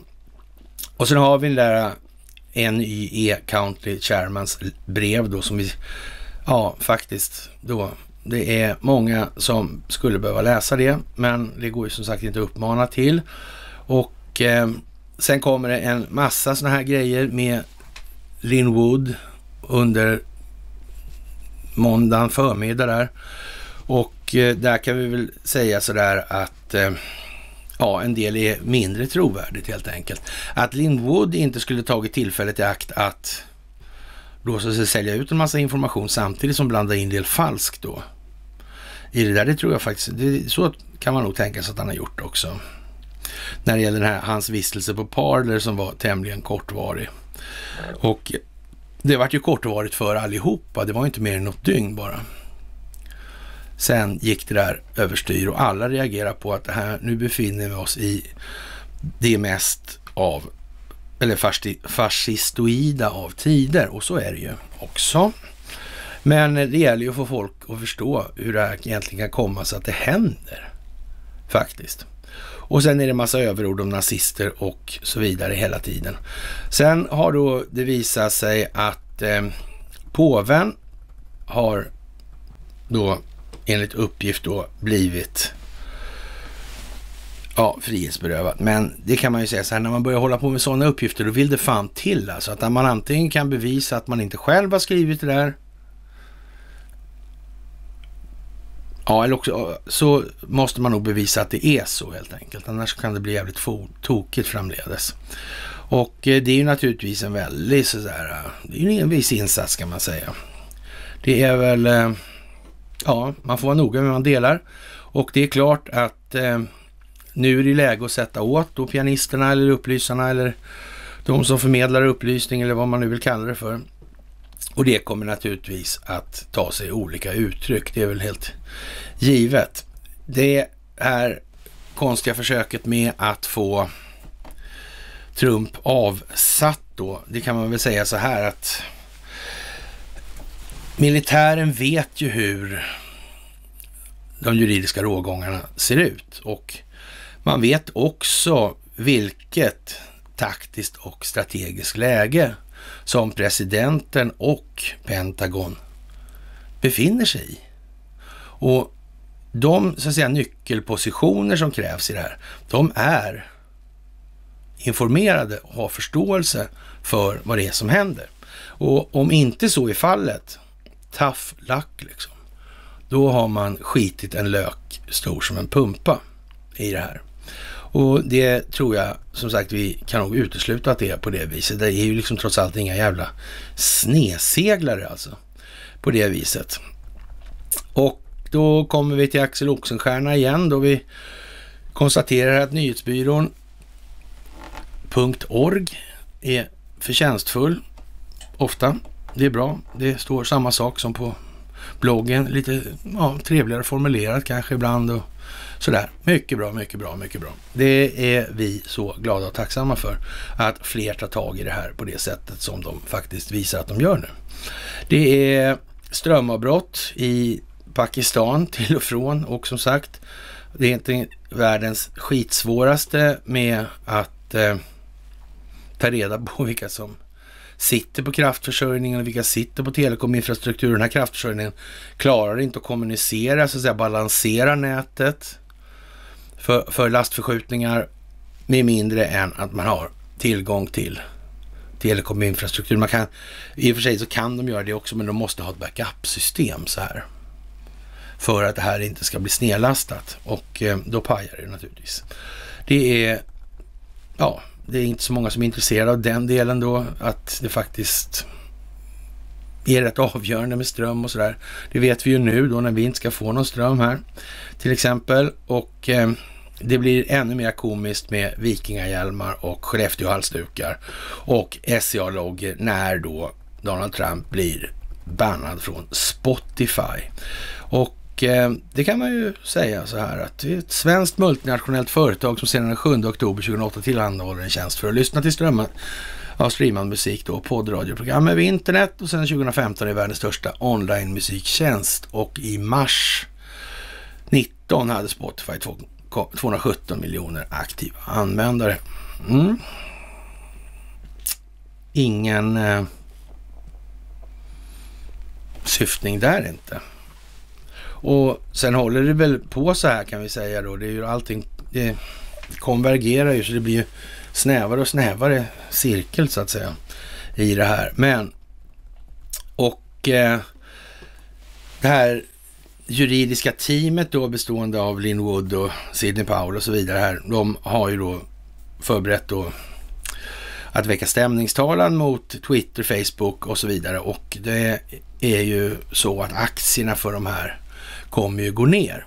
Och eh, som vi har sagt tidigare, vi har ju lite svårare att se att Investor stänger ner, nu gör de väl det bara för jag säger det då, men annars. Så att de stänger ner ström och internet här då. då. Men eh, ja, det, där, så säga, det blir ju den enda det får gömmas då i så fall. Men annars är det svårt att se att de så att säga, stänger ner verksamhet för folk mer i någon större omfattning. Det får vi nog räkna med egentligen är teater när det sker nu. Sådär. Ja, av ett eller annat skäl. I alla fall. Och eh, ja, man stämmer då för att man har koordinerat det här med Demokratiska partiet då, eller så, officiella från Demokraterna, som är stora givare till de här bolagen. Och hur det här har köpts då, politiskt inflytande genom det där och det är väl inga, så att säga, ja, pay for play helt enkelt. Det är ju inte så jättekonstigt. Vi har sagt det i några år. Egentligen är det inte så mycket konstigheter alls här och eh, ja, vi kan väl säga så här att det här Leonardo-projektet är stenhårt kopplat till Ericsson rakt av liksom. Och eh, det var lite komiskt var väl då att den heliga stolen då två veckor före amerikanska presidentvalet då vädjade, det är påven alltså då, säger man heliga stolen om så. Han eh, har ju faktiskt då uttryckt sig då till FN angående då att man måste se till då den här risken att satelliterna kolliderar och det här med att skicka upp hur mycket satelliter som helst. Det går inte, de måste ju ha liksom vä vägar där de inte riskerar att kollidera med varandra sådär. Och eh, det är lite udda skulle man kunna säga så här. Men någon som är lite illasinnad skulle kunna tänka sig så här då, som vi inte tycker det här systemet är alldeles lyckat. Skulle kunna tänka sig, men då skickar jag, man har ju pengar också naturligtvis, men jag skickar upp en jävla massa satelliter som jag faktiskt bara kan ändra bana på i princip. Och sen får vi väl se hur det går. Typ. Det skulle kunna vara så att någon har tänkt så. Helt enkelt någon som är intresserad av modern teknologi. Men kanske fortfarande har någon form av idé om att vissa humanistiska värderingar ska finnas kvar då. då. Till exempel. Det är, ja, speciellt med Gotland, som sagt.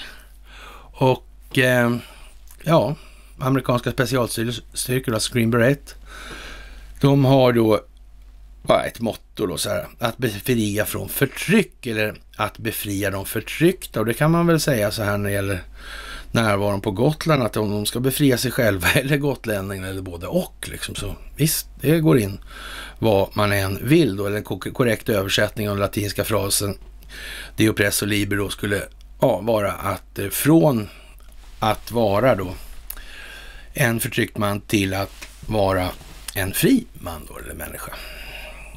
Mm. Det är ju en tillfällighet.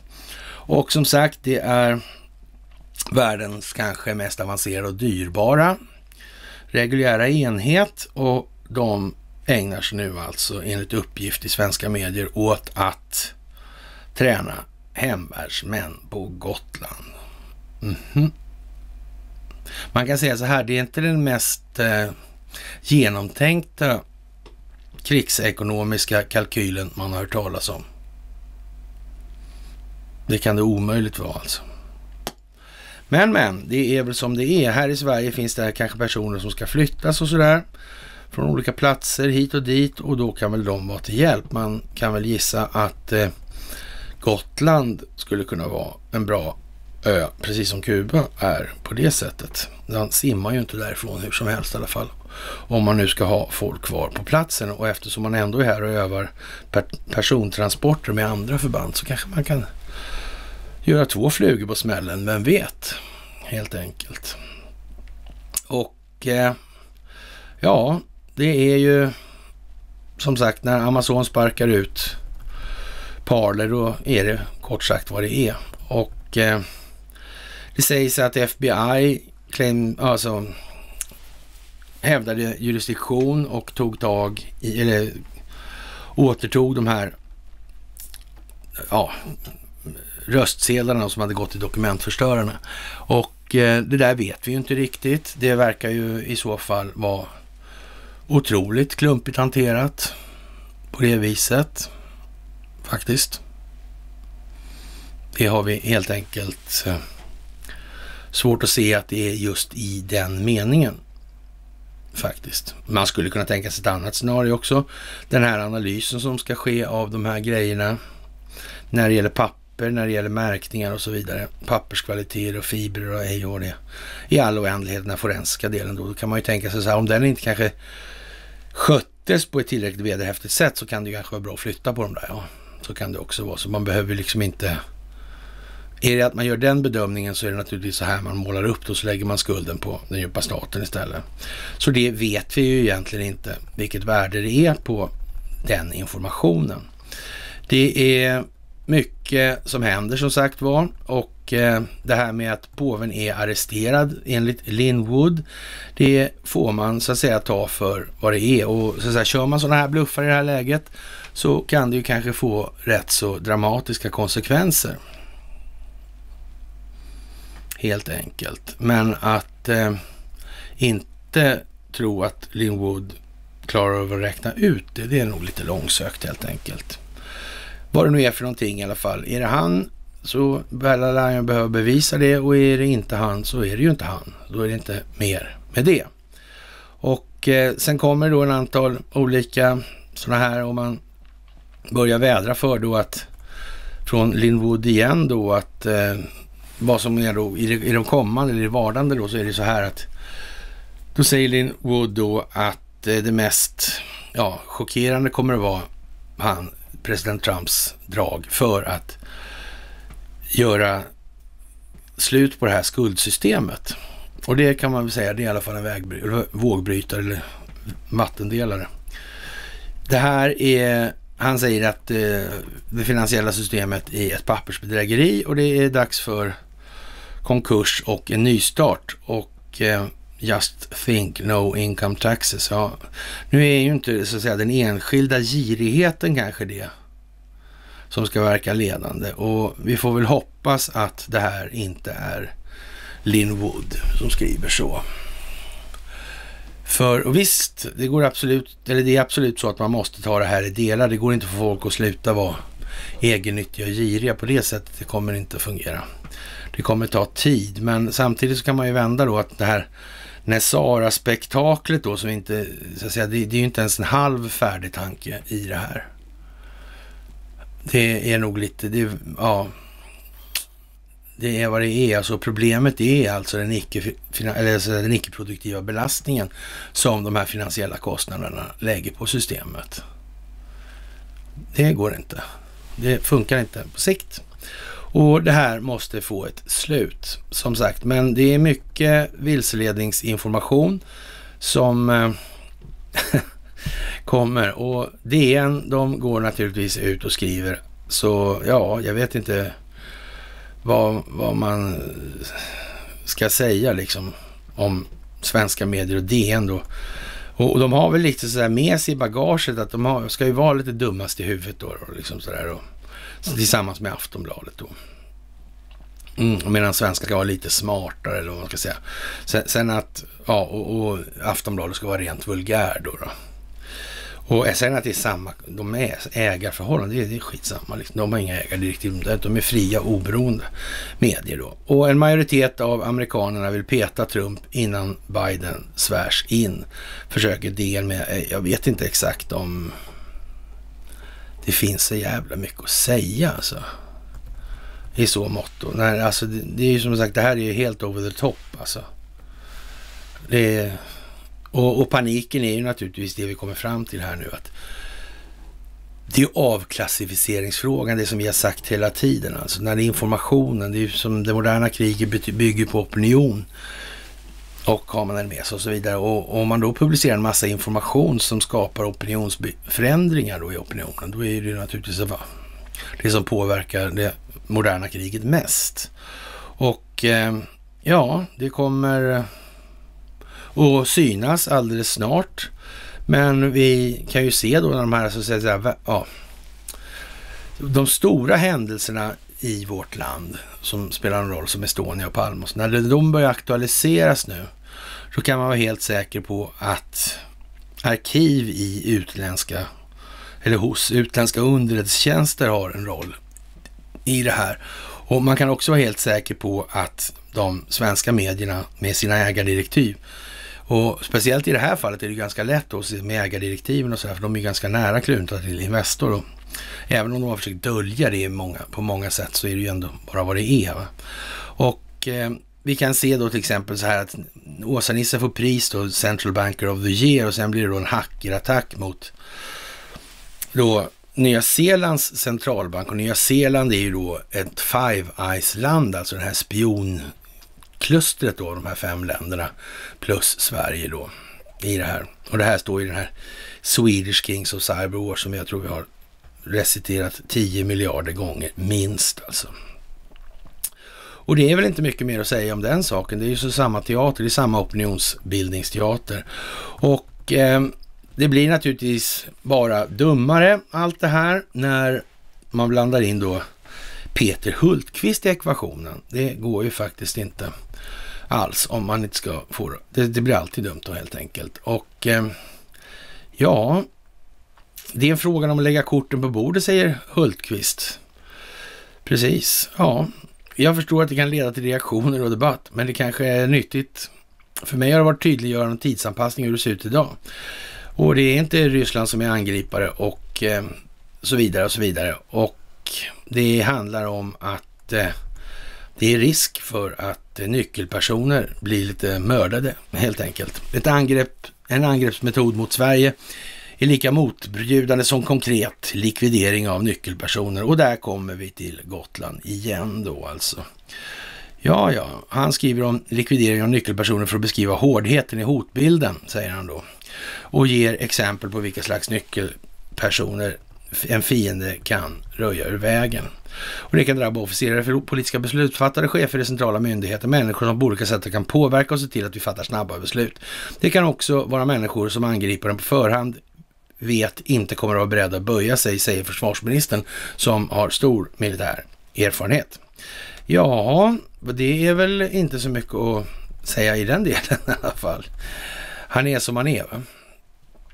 Och han är skitnödig och han vet att det finns eh, fångtransportmöjligheter som inte är hans egna på plats i landet. Och han kan nog inte helt, även om ingen vet vad de ska göra till, det kan vi inte veta säkert. Men eh, ja, det är ju inte Ryssland i alla fall han oroar sig för främst, så är det ju. Och som sagt, det finns väl en och annan svensk politiker och det är lite, de är lite många i svenska statsförvaltningen eller i Stockholmsbyråkratin för att släppa iväg dem till Guantanamo. Det är alldeles säkert. Det där kan ni ju bara glömma. Alltså. Det tror jag inte på. Möjligtvis så blir det mellanpassering någonstans, eller mellanläger någonstans och alltså sen då möjligt. Men det, det är ju som sagt, det, är, det där är mycket vidlyftiga spekulationer. Alltså det, som sagt, det här ska återföras in i rättssystemet när, eller så snart det visar sig att det så att säga hamnar utanför av den anledningen som man anger då. Och eh, sen får man väl kanske då använda sig av speciallagar då och det kanske är möjligt att en del inte ens kan lagföras i landet för den sakens skull med avseende på att det handlar ju trots allt om det svenska rättssystemet när det kommer till den amerikanske säkerhetsrådgivaren. Så kan vi ju säga. Och det är väl kanske ingen sådär, äh, ja, då kanske det är bra att ha dem på något ställe helt enkelt. En stund. Och eh, det är som vanligt i Kina kör man då en omvänd det är Kinas fel, då säger man det är USA som försöker då förgifta Kina med covid-19 genom då olika, ja, frusen mat helt enkelt. Och det kan man ju säga så här då, det finns det amerikanska bolag som tillhör den djupa staten i Kina. Ja, det finns det. Och det kanske till och med finns kinesiska bolag som tillhör den amerikanska djupa staten i USA. Och så vidare. Så här. Kanske eh, Börje Ekholm har inflytande i Alibaba. Kanske finns Neil Cheng på börsen i USA och så vidare. Så där. Det är bara vad det är. En annan rolig grej, det är naturligtvis när man har gått, hamnar mittemellan Mike Pompeo och Sergej Lavrov. Det är topp. Vad kan, kan inte bli bättre? Och eh, ja, de har helt enkelt kommit överens om det här med kemiska stridsmedel nu, det här. Arctic Council. Fantastiskt. Men eh, vad var det nu som Lavrov sa om eh, när Sverige hade analyserat det här Novichoket? Hur var det? Och tänk om det skulle visa sig att eh, covidiotin är skapad i ett laboratorium av människor. Mm.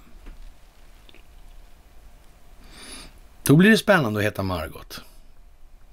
Faktiskt. Det är någonting som kanske, ja, kommer att spela en viss roll nu. Det är jättespeciellt när eh, man börjar utmana länder som inte har skrivit på det här och så vidare, eller som bryter mot det här. Det kommer naturligtvis bli en del ansvar utkrävt för det här också, vad det lider. Och som sagt, det är alla vägar går inte till Rom längre. Det var bra länge sedan helt enkelt. Och eh, Aftonbladet gör naturligtvis sin del i det här då, då för att förklara att eh, ja, den djupa staten finns inte alls i Sverige. Och därför kan vi lära oss vissa saker av det som händer i USA, det vill säga vi kan hålla käften, vi ska inte säga vad vi tycker, vi ska göra som vi blir åtsagda, vi ska lyda, vi ska vara glada när vi, ja, får mer restriktioner på oss och så vidare. I all oändlighet. Det är fantastiskt trevligt det här. Det är nästan som man tror att det är en konstig film det här. Och eh, ja, ja, i alla fall så Nancy hon tänker åtala då och det är bråttom och då är det panik och eh, ja, man ska väl säga att eh, hon har väl jävligt bråttom nu därför att det här anslaget som skapade den här upptrappningen i och med det här Kapitolium-historien då, det visste man ju om skulle komma. Det måste man ha så tagit fasta på i det här därför, av den anledningen. Och eh, ja, då är det läge för informationsspridning. Och eh, då har Margot varit och träffat både Lavrov och Pompeo som inte görs någon brådska att komma hem. Eller bry sig om vad som händer i USA. Det kan man ju tycka är en anmärkningsvärd inställning hos en utrikesminister, men det är nog inte så allvarligt. Och eh, ja, man kan väl eh, säga så här att den här uppgiften delas av en hel del, eller en hel del ska inte jag säga, men eller den här inställningen om att det är nog så här det borde gå till och det är nog så förmodligen så det kommer gå till också. Vi kan nästan vara helt säkra på det faktiskt. Det är till exempel Rush Limbaugh. Han tycker att eh, ja, det kommer att publiceras saker nu. Helt säkert. Och de som sitter och väntar på de här arresteringar och annat. Nej, jag tror ni ska vänta lite mindre och koncentrera er mer på informationen faktiskt. Det är trots allt så att har man opinionen med sig, då gäller det. Annars inte. Och eh, det är väl nu som de flesta människor i alla fall som är, kan någonting om det här har haft sitt största behov av mer information. Men vad vore bättre nu än att till exempel släppa om information om det okända telefonsamtalet med försvarsstaben som visar att kaoset på mordnatten när det gäller då, det har aldrig hörts det här telefonsamtalet då, det är SVT. Det kom just nu. Ja, man kan väl säga så här i alla fall, och det här gällde ju då att samtalet med försvarsstaben då är ju då som man säger, i, även i Stockholmsbyråkratin i alla fall. Man kan i alla fall säga så här att eftersom det här kom då så lång tid efter själva mordet hade ägt rum, så kan man ju säga så här, någonstans i Stockholmsbyråkratin verkar kommunikationsvägarna eller ordervägarna inte vara riktigt glasklara. Om man säger som så för att vara lite snäll då. Och det i sin tur gör väl det att man kan ju nästan tänka sig så här att alla minns ju den fina artikeln med Hultqvist vi pratade om nyss. Och Hultqvist han pratar om det här kriget då som kan komma och mord på nyckelpersoner och såna här grejer. Och det innebär väl med en viss automatik att 1986, då den 28 februari, så då var det i alla fall det kalla kriget igång fortfarande. Men jag är övertygad om att inte jättemånga minns hur den beredskapshöjning som måste följa på ett statsministermord tog sig uttryck. Jag är inte helt säker på att någon minns det överhuvudtaget i en omfattning värd namnet. Sveriges statsminister mördades och försvaret ställdes inte på mer eller mindre krigsfot. Det hände inget sånt. Man skulle nästan kunna säga att det verkar mer som att polisen ville dölja det här och se till att problemformuleringen inte hamnade i fel händer.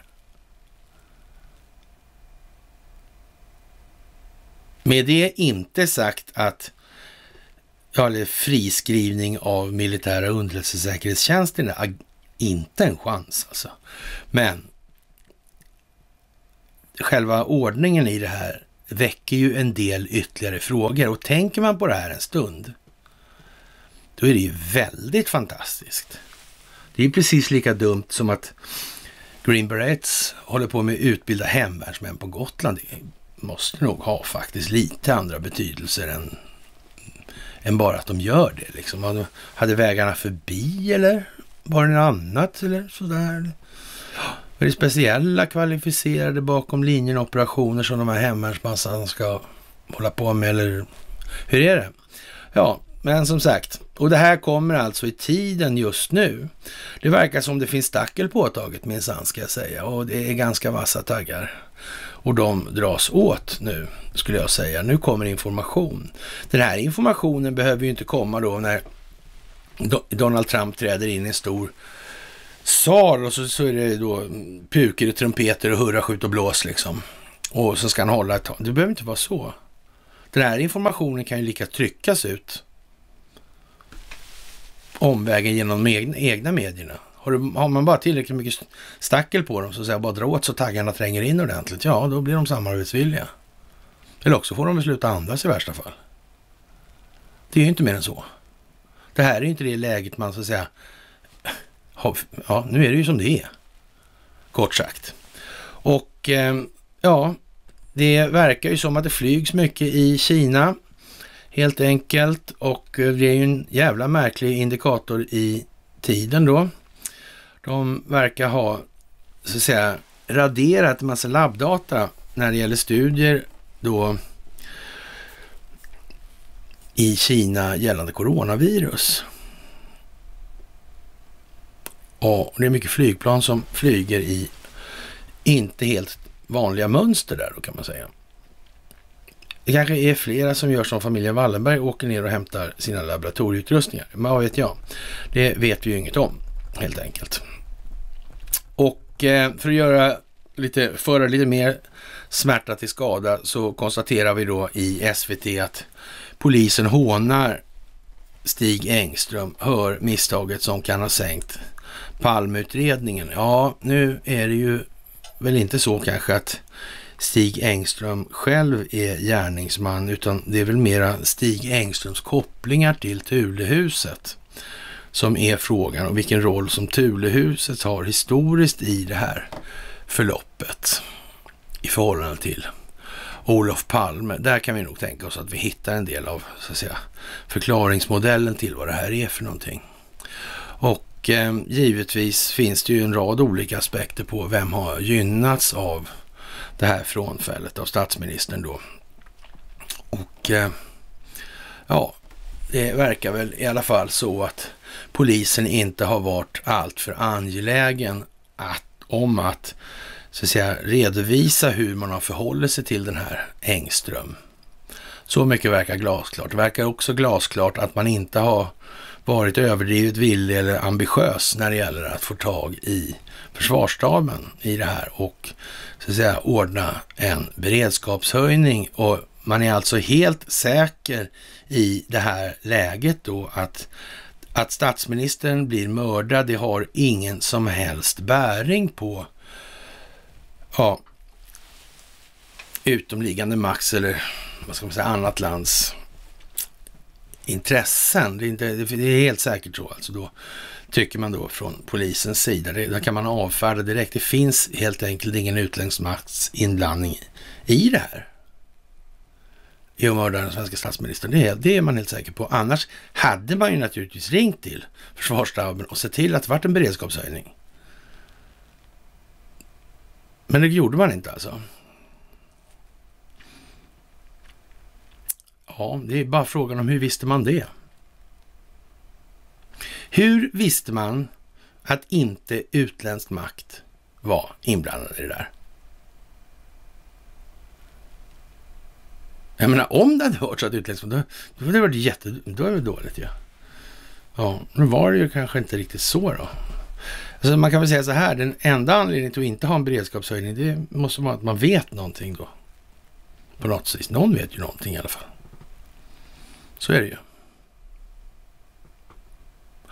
Och det här gänget i Stay Behind-rörelsen och allt det här som har så att säga figurerat i de här sammanhangen under väldigt lång tid, ända då bak till, eller ja, under hela 1900-talet kan man säga, när Stockholm var spioncentral och de här grejerna. Det är ju vad det är, helt enkelt. Och återigen, det är bara att googla Stay Behind och de här, eller googla, ni kan söka på bloggen så hittar ni det.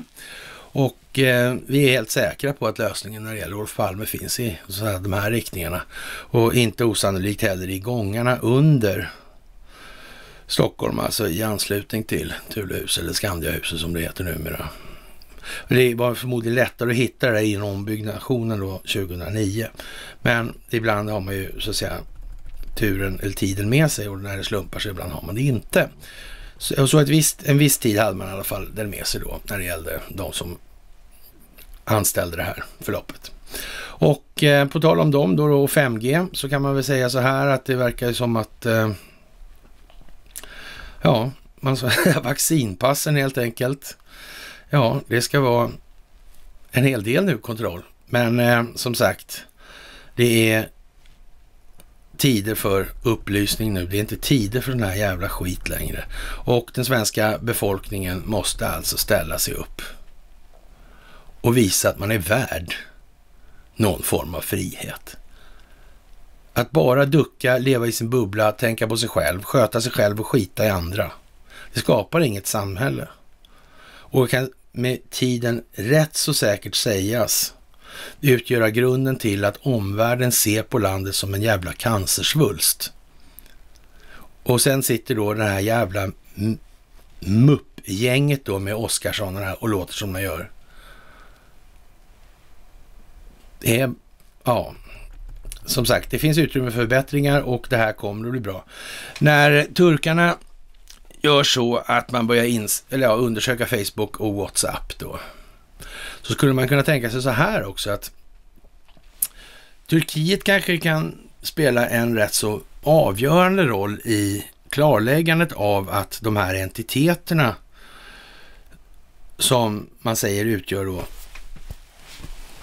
ja, motparter i de här konflikterna, de här länderna då faktiskt också är, är infiltrerade då av det här med djupa staten. För där har ju faktiskt Turkiet en lång historia bak ända till Derin Devlet på Ja, under Kim, ja, Kemalisterna där och som, där dök det där upp då sägs det. Men det har säkert funnits där tidigare och var bara tystare då, då under det Ottomanska riket då. Men det är, någon måste ju spela den rollen och eh, samtidigt så kan man säga så här att det pågår ju en rätt så klar sekularisering och det kan man väl säga så här, det blir rätt mycket mer sekularisering om påven visar sig vara frihetsberövad. Men, men som sagt, det där lämnar vi därhän och lägger ingen värdering i den delen så mått. Och vi konstaterar mer att om nu Lindwood vill hålla sig med den typen av högtravande eller vida, ah, alltså yviga argument, ja, vi kan, vet inte vilka skäl det finns. Alltså, det kan ju utgöra en del av så att säga, en större informationsdelningsinsats och så vidare. Så där. Men det, så det blir lite så långt att utveckla det. Men i alla fall så kan vi säga så här att det finns ju en hel rad med olika roller som turkiska myndigheter och Recep Tayyip Erdogan kan spela i det här. Som faktiskt kommer vara av godo för världen. För övrigt så tror vi faktiskt att de kommer hitta den här. Vi har inte, tror inte alls att den här Dennis Arda är helt förkommen. Och vi får hoppas att han inte är. Han verkar ha varit en bra kille efter vi har gjort diverse research i ämnet. Så han verkar ha varit en mycket bra kille. Så det vore ju trevligt om det här löstes på bästa sätt för alla faktiskt. Så han kanske vill åka till Gotland. Man vet ju inte så mycket om sånt. Och eh, israeliske premiärminister Netanyahu beordrar då framryckning, höga knäuppdragningar, hurra, skjut och blås, pukor och trumpeter till och då så att säga housing projects in West Bank settlements. Han vet att det här kommer inte förarga någon alls överhuvudtaget. Och eh, ja, de eh, ortodoxa kommer naturligtvis att tycka att det här var inte så bra kanske. Nej. Och, och tycker de det så att det är bra då, då är det ett problem för dem också. Så det är, ja, det är, är ju så att säga, det kommer exakt i tid hela tiden och vi får väl se så att säga, hur mycket som behöver dras till lidande för att förståelse ska uppstå då.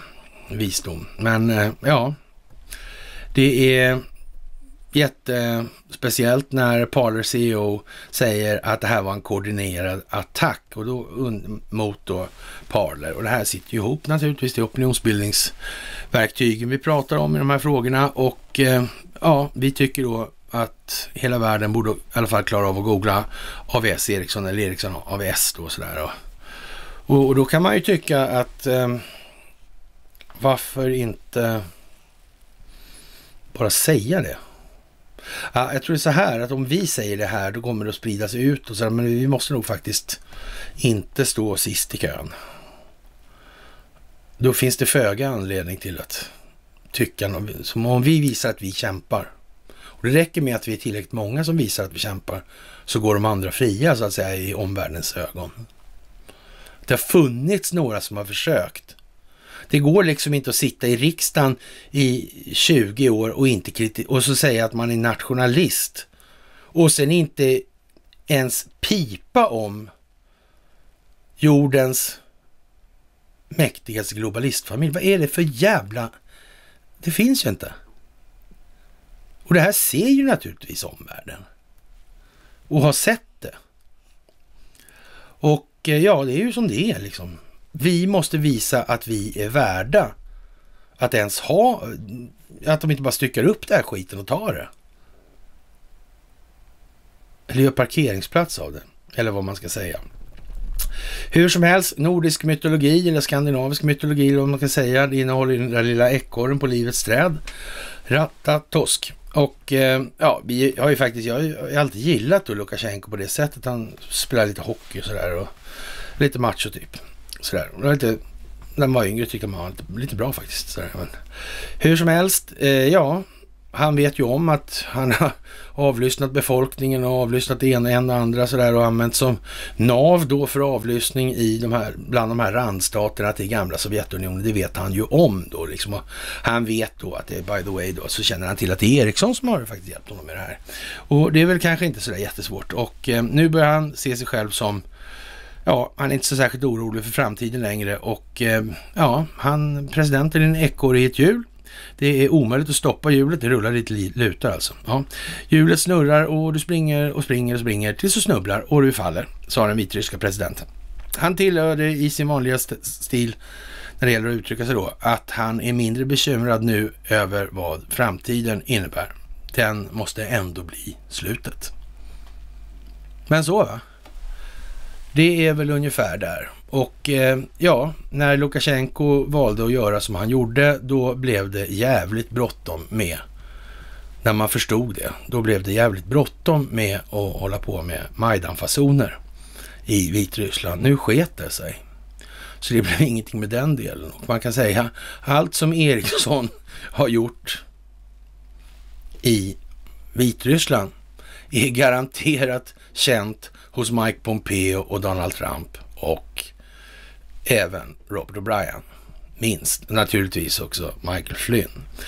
Ja, och förmodligen och så vidare en hel del andra. Men i alla fall poängen är ju någonstans det här att det har ju gått ihop och det har blivit en koordinerad insats av det här. Och eh, ja, när eh, det här One China politiska status quo sprängs av Mike Pompeo i morse, eller om det var igår sent. Det är timuppdateringar det här handlar om nu, så det är lite oklart när, var, eller varje information är publicerad. Så där, så det, och glöm nu inte det när ni håller på med det här, att när ni skickar länkar och så, och det är ju, tycker jag är naturligtvis bra att ni gör, men eh, om det inte är anmärkningsvärt så är, det går ju fort det här nu. Försök håll framkant istället. Sådär. Tre veckor gammalt. Det finns ju gamla grejer som jag har missat också. Så det, men visst alltså, men tänk lite på det här med tidsstämplarna och hur mycket en grej har spritts och så vidare. Det är faktiskt riktigt bra att tänka på det. Om det här kanske är överspelat rent av redan.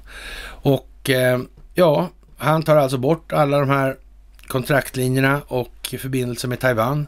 Och det här One China går i graven. Och då kan man väl, eh, ja, tänka sig då i alla fall, är det kanske så att det är djupa staten som har varit mest gynnad av den här jävla One China policyn? Som har då kunnat spela på båda sidor. Ungefär som någon slags jävla neutral part, part fast i det dolda då. Tjäna på båda sidor av konflikten. Kan det vara så eller kan det inte vara så? så? Nu vet vi att det inte finns någon djupa stat här i Sverige, så ja, sådär. Man har kommit fram då i olika medier då, har olika stora tänkare har kommit fram att eh, the slow implosion of the European Union. Ja, nu ska vi väl inte vara sådana kanske, men ja, vi känner någonstans att, eh, det tror vi har sagt förr, att det har varit lite på gång helt enkelt. Sådär. Så. Och eh, ja, det blir lite roligt på börsen där. Ett NMG-bolag rusar över 100 procent och det var inga nyheter alls. Det handlar inte om insideraffärer alls. Naturligtvis inte. Det var bara någon... Kanske det är så att människor i Sverige måste förstå att eh, vad är då det här med ränta och vad är det för någonting egentligen? Det är ju drivkraften till många människor. Deras liv liksom. Ja. Men vad producerar ränta för någonting då egentligen? Som så. Det är inte så att den producerar någonting som inte kan produceras utan ränta. Det är inte så. Och den har ju det problemet med sig att den så att säga växer av sig själv. Med tiden då, det är ju själva läget då. Nu är det tjurigt för den djupa staten i Kina om vi uttrycker oss violblygt. Ja, det kan man ju säga i det här läget. Vi har sagt det att det kommer gå i ordningen för Xi Jinping kan inte göra någonting åt Kina så länge den djupa staten är intakt i USA. Men nu händer det grejer i USA alltså, skarpt läge. Och det här kommer ju inte liksom, det kommer inte bli vilovecka för Investorgänget. Så är det ju inte. Så att Investorgänget försöker så att säga, ja, lag efter läge då så att säga och packa ihop så gott det går där. Det får vi nästan utgå ifrån. Och precis som vi har sagt, man kommer att åka ut ur USA och man kommer att åka ut ur Kina och man kommer att åka ut ur Ryssland. Och sen får vi väl se vad det här blir egentligen. Ja, och det är som sagt fantastiskt att Mike Pompeo inte blir nedstängd. ÖB, vår egen då, Micke Underlivsporslin, det är lite Y men egentligen I, då måste det väl vara. Och nu är han ja, sprutsugen där och vill då administrera vaccinering av befolkningen. Jag är inte säker på att eh, det blir så här jävla mycket dummare när det handlar om den här jävla tralljöken. Men han är i alla fall ute och reser då som en sann coronabekämpningsentusiast. Så på annandag jul besökte han garnisonen i Skövde på nyårsafton högvatten i högvakten på Drottningholms slott och eh, ja, och Stockholms slott då. Och nu ska han då tala på Folk och Försvar då i Sälen. Det kanske är videokonferens, vad vet vi. Men eh, maken till politisk jävla televink som uppenbarligen är skita blanka fan i de här, visserligen låtsasreglerna, men han försöker alltså inte ens göra det trovärdigt. Jag skulle säga så här, det finns stackel påtaget någonstans som gör att nu säger du och gör du vad du ska och sen håller du käften. Så där dum kan ingen ens försöka spela och vara. Alltså, det finns inte på en karta ens. Alltså. Ja, vi eh, kan väl tänka sig att det är lite tragiskt helt enkelt det här. Det är väl en sammanfattning på den, i den saken i alla fall. Och eh, ja, Rudy Giuliani han säger som han gör. Declassify everything. What, what's he waiting for? Ja, det kan man fråga sig.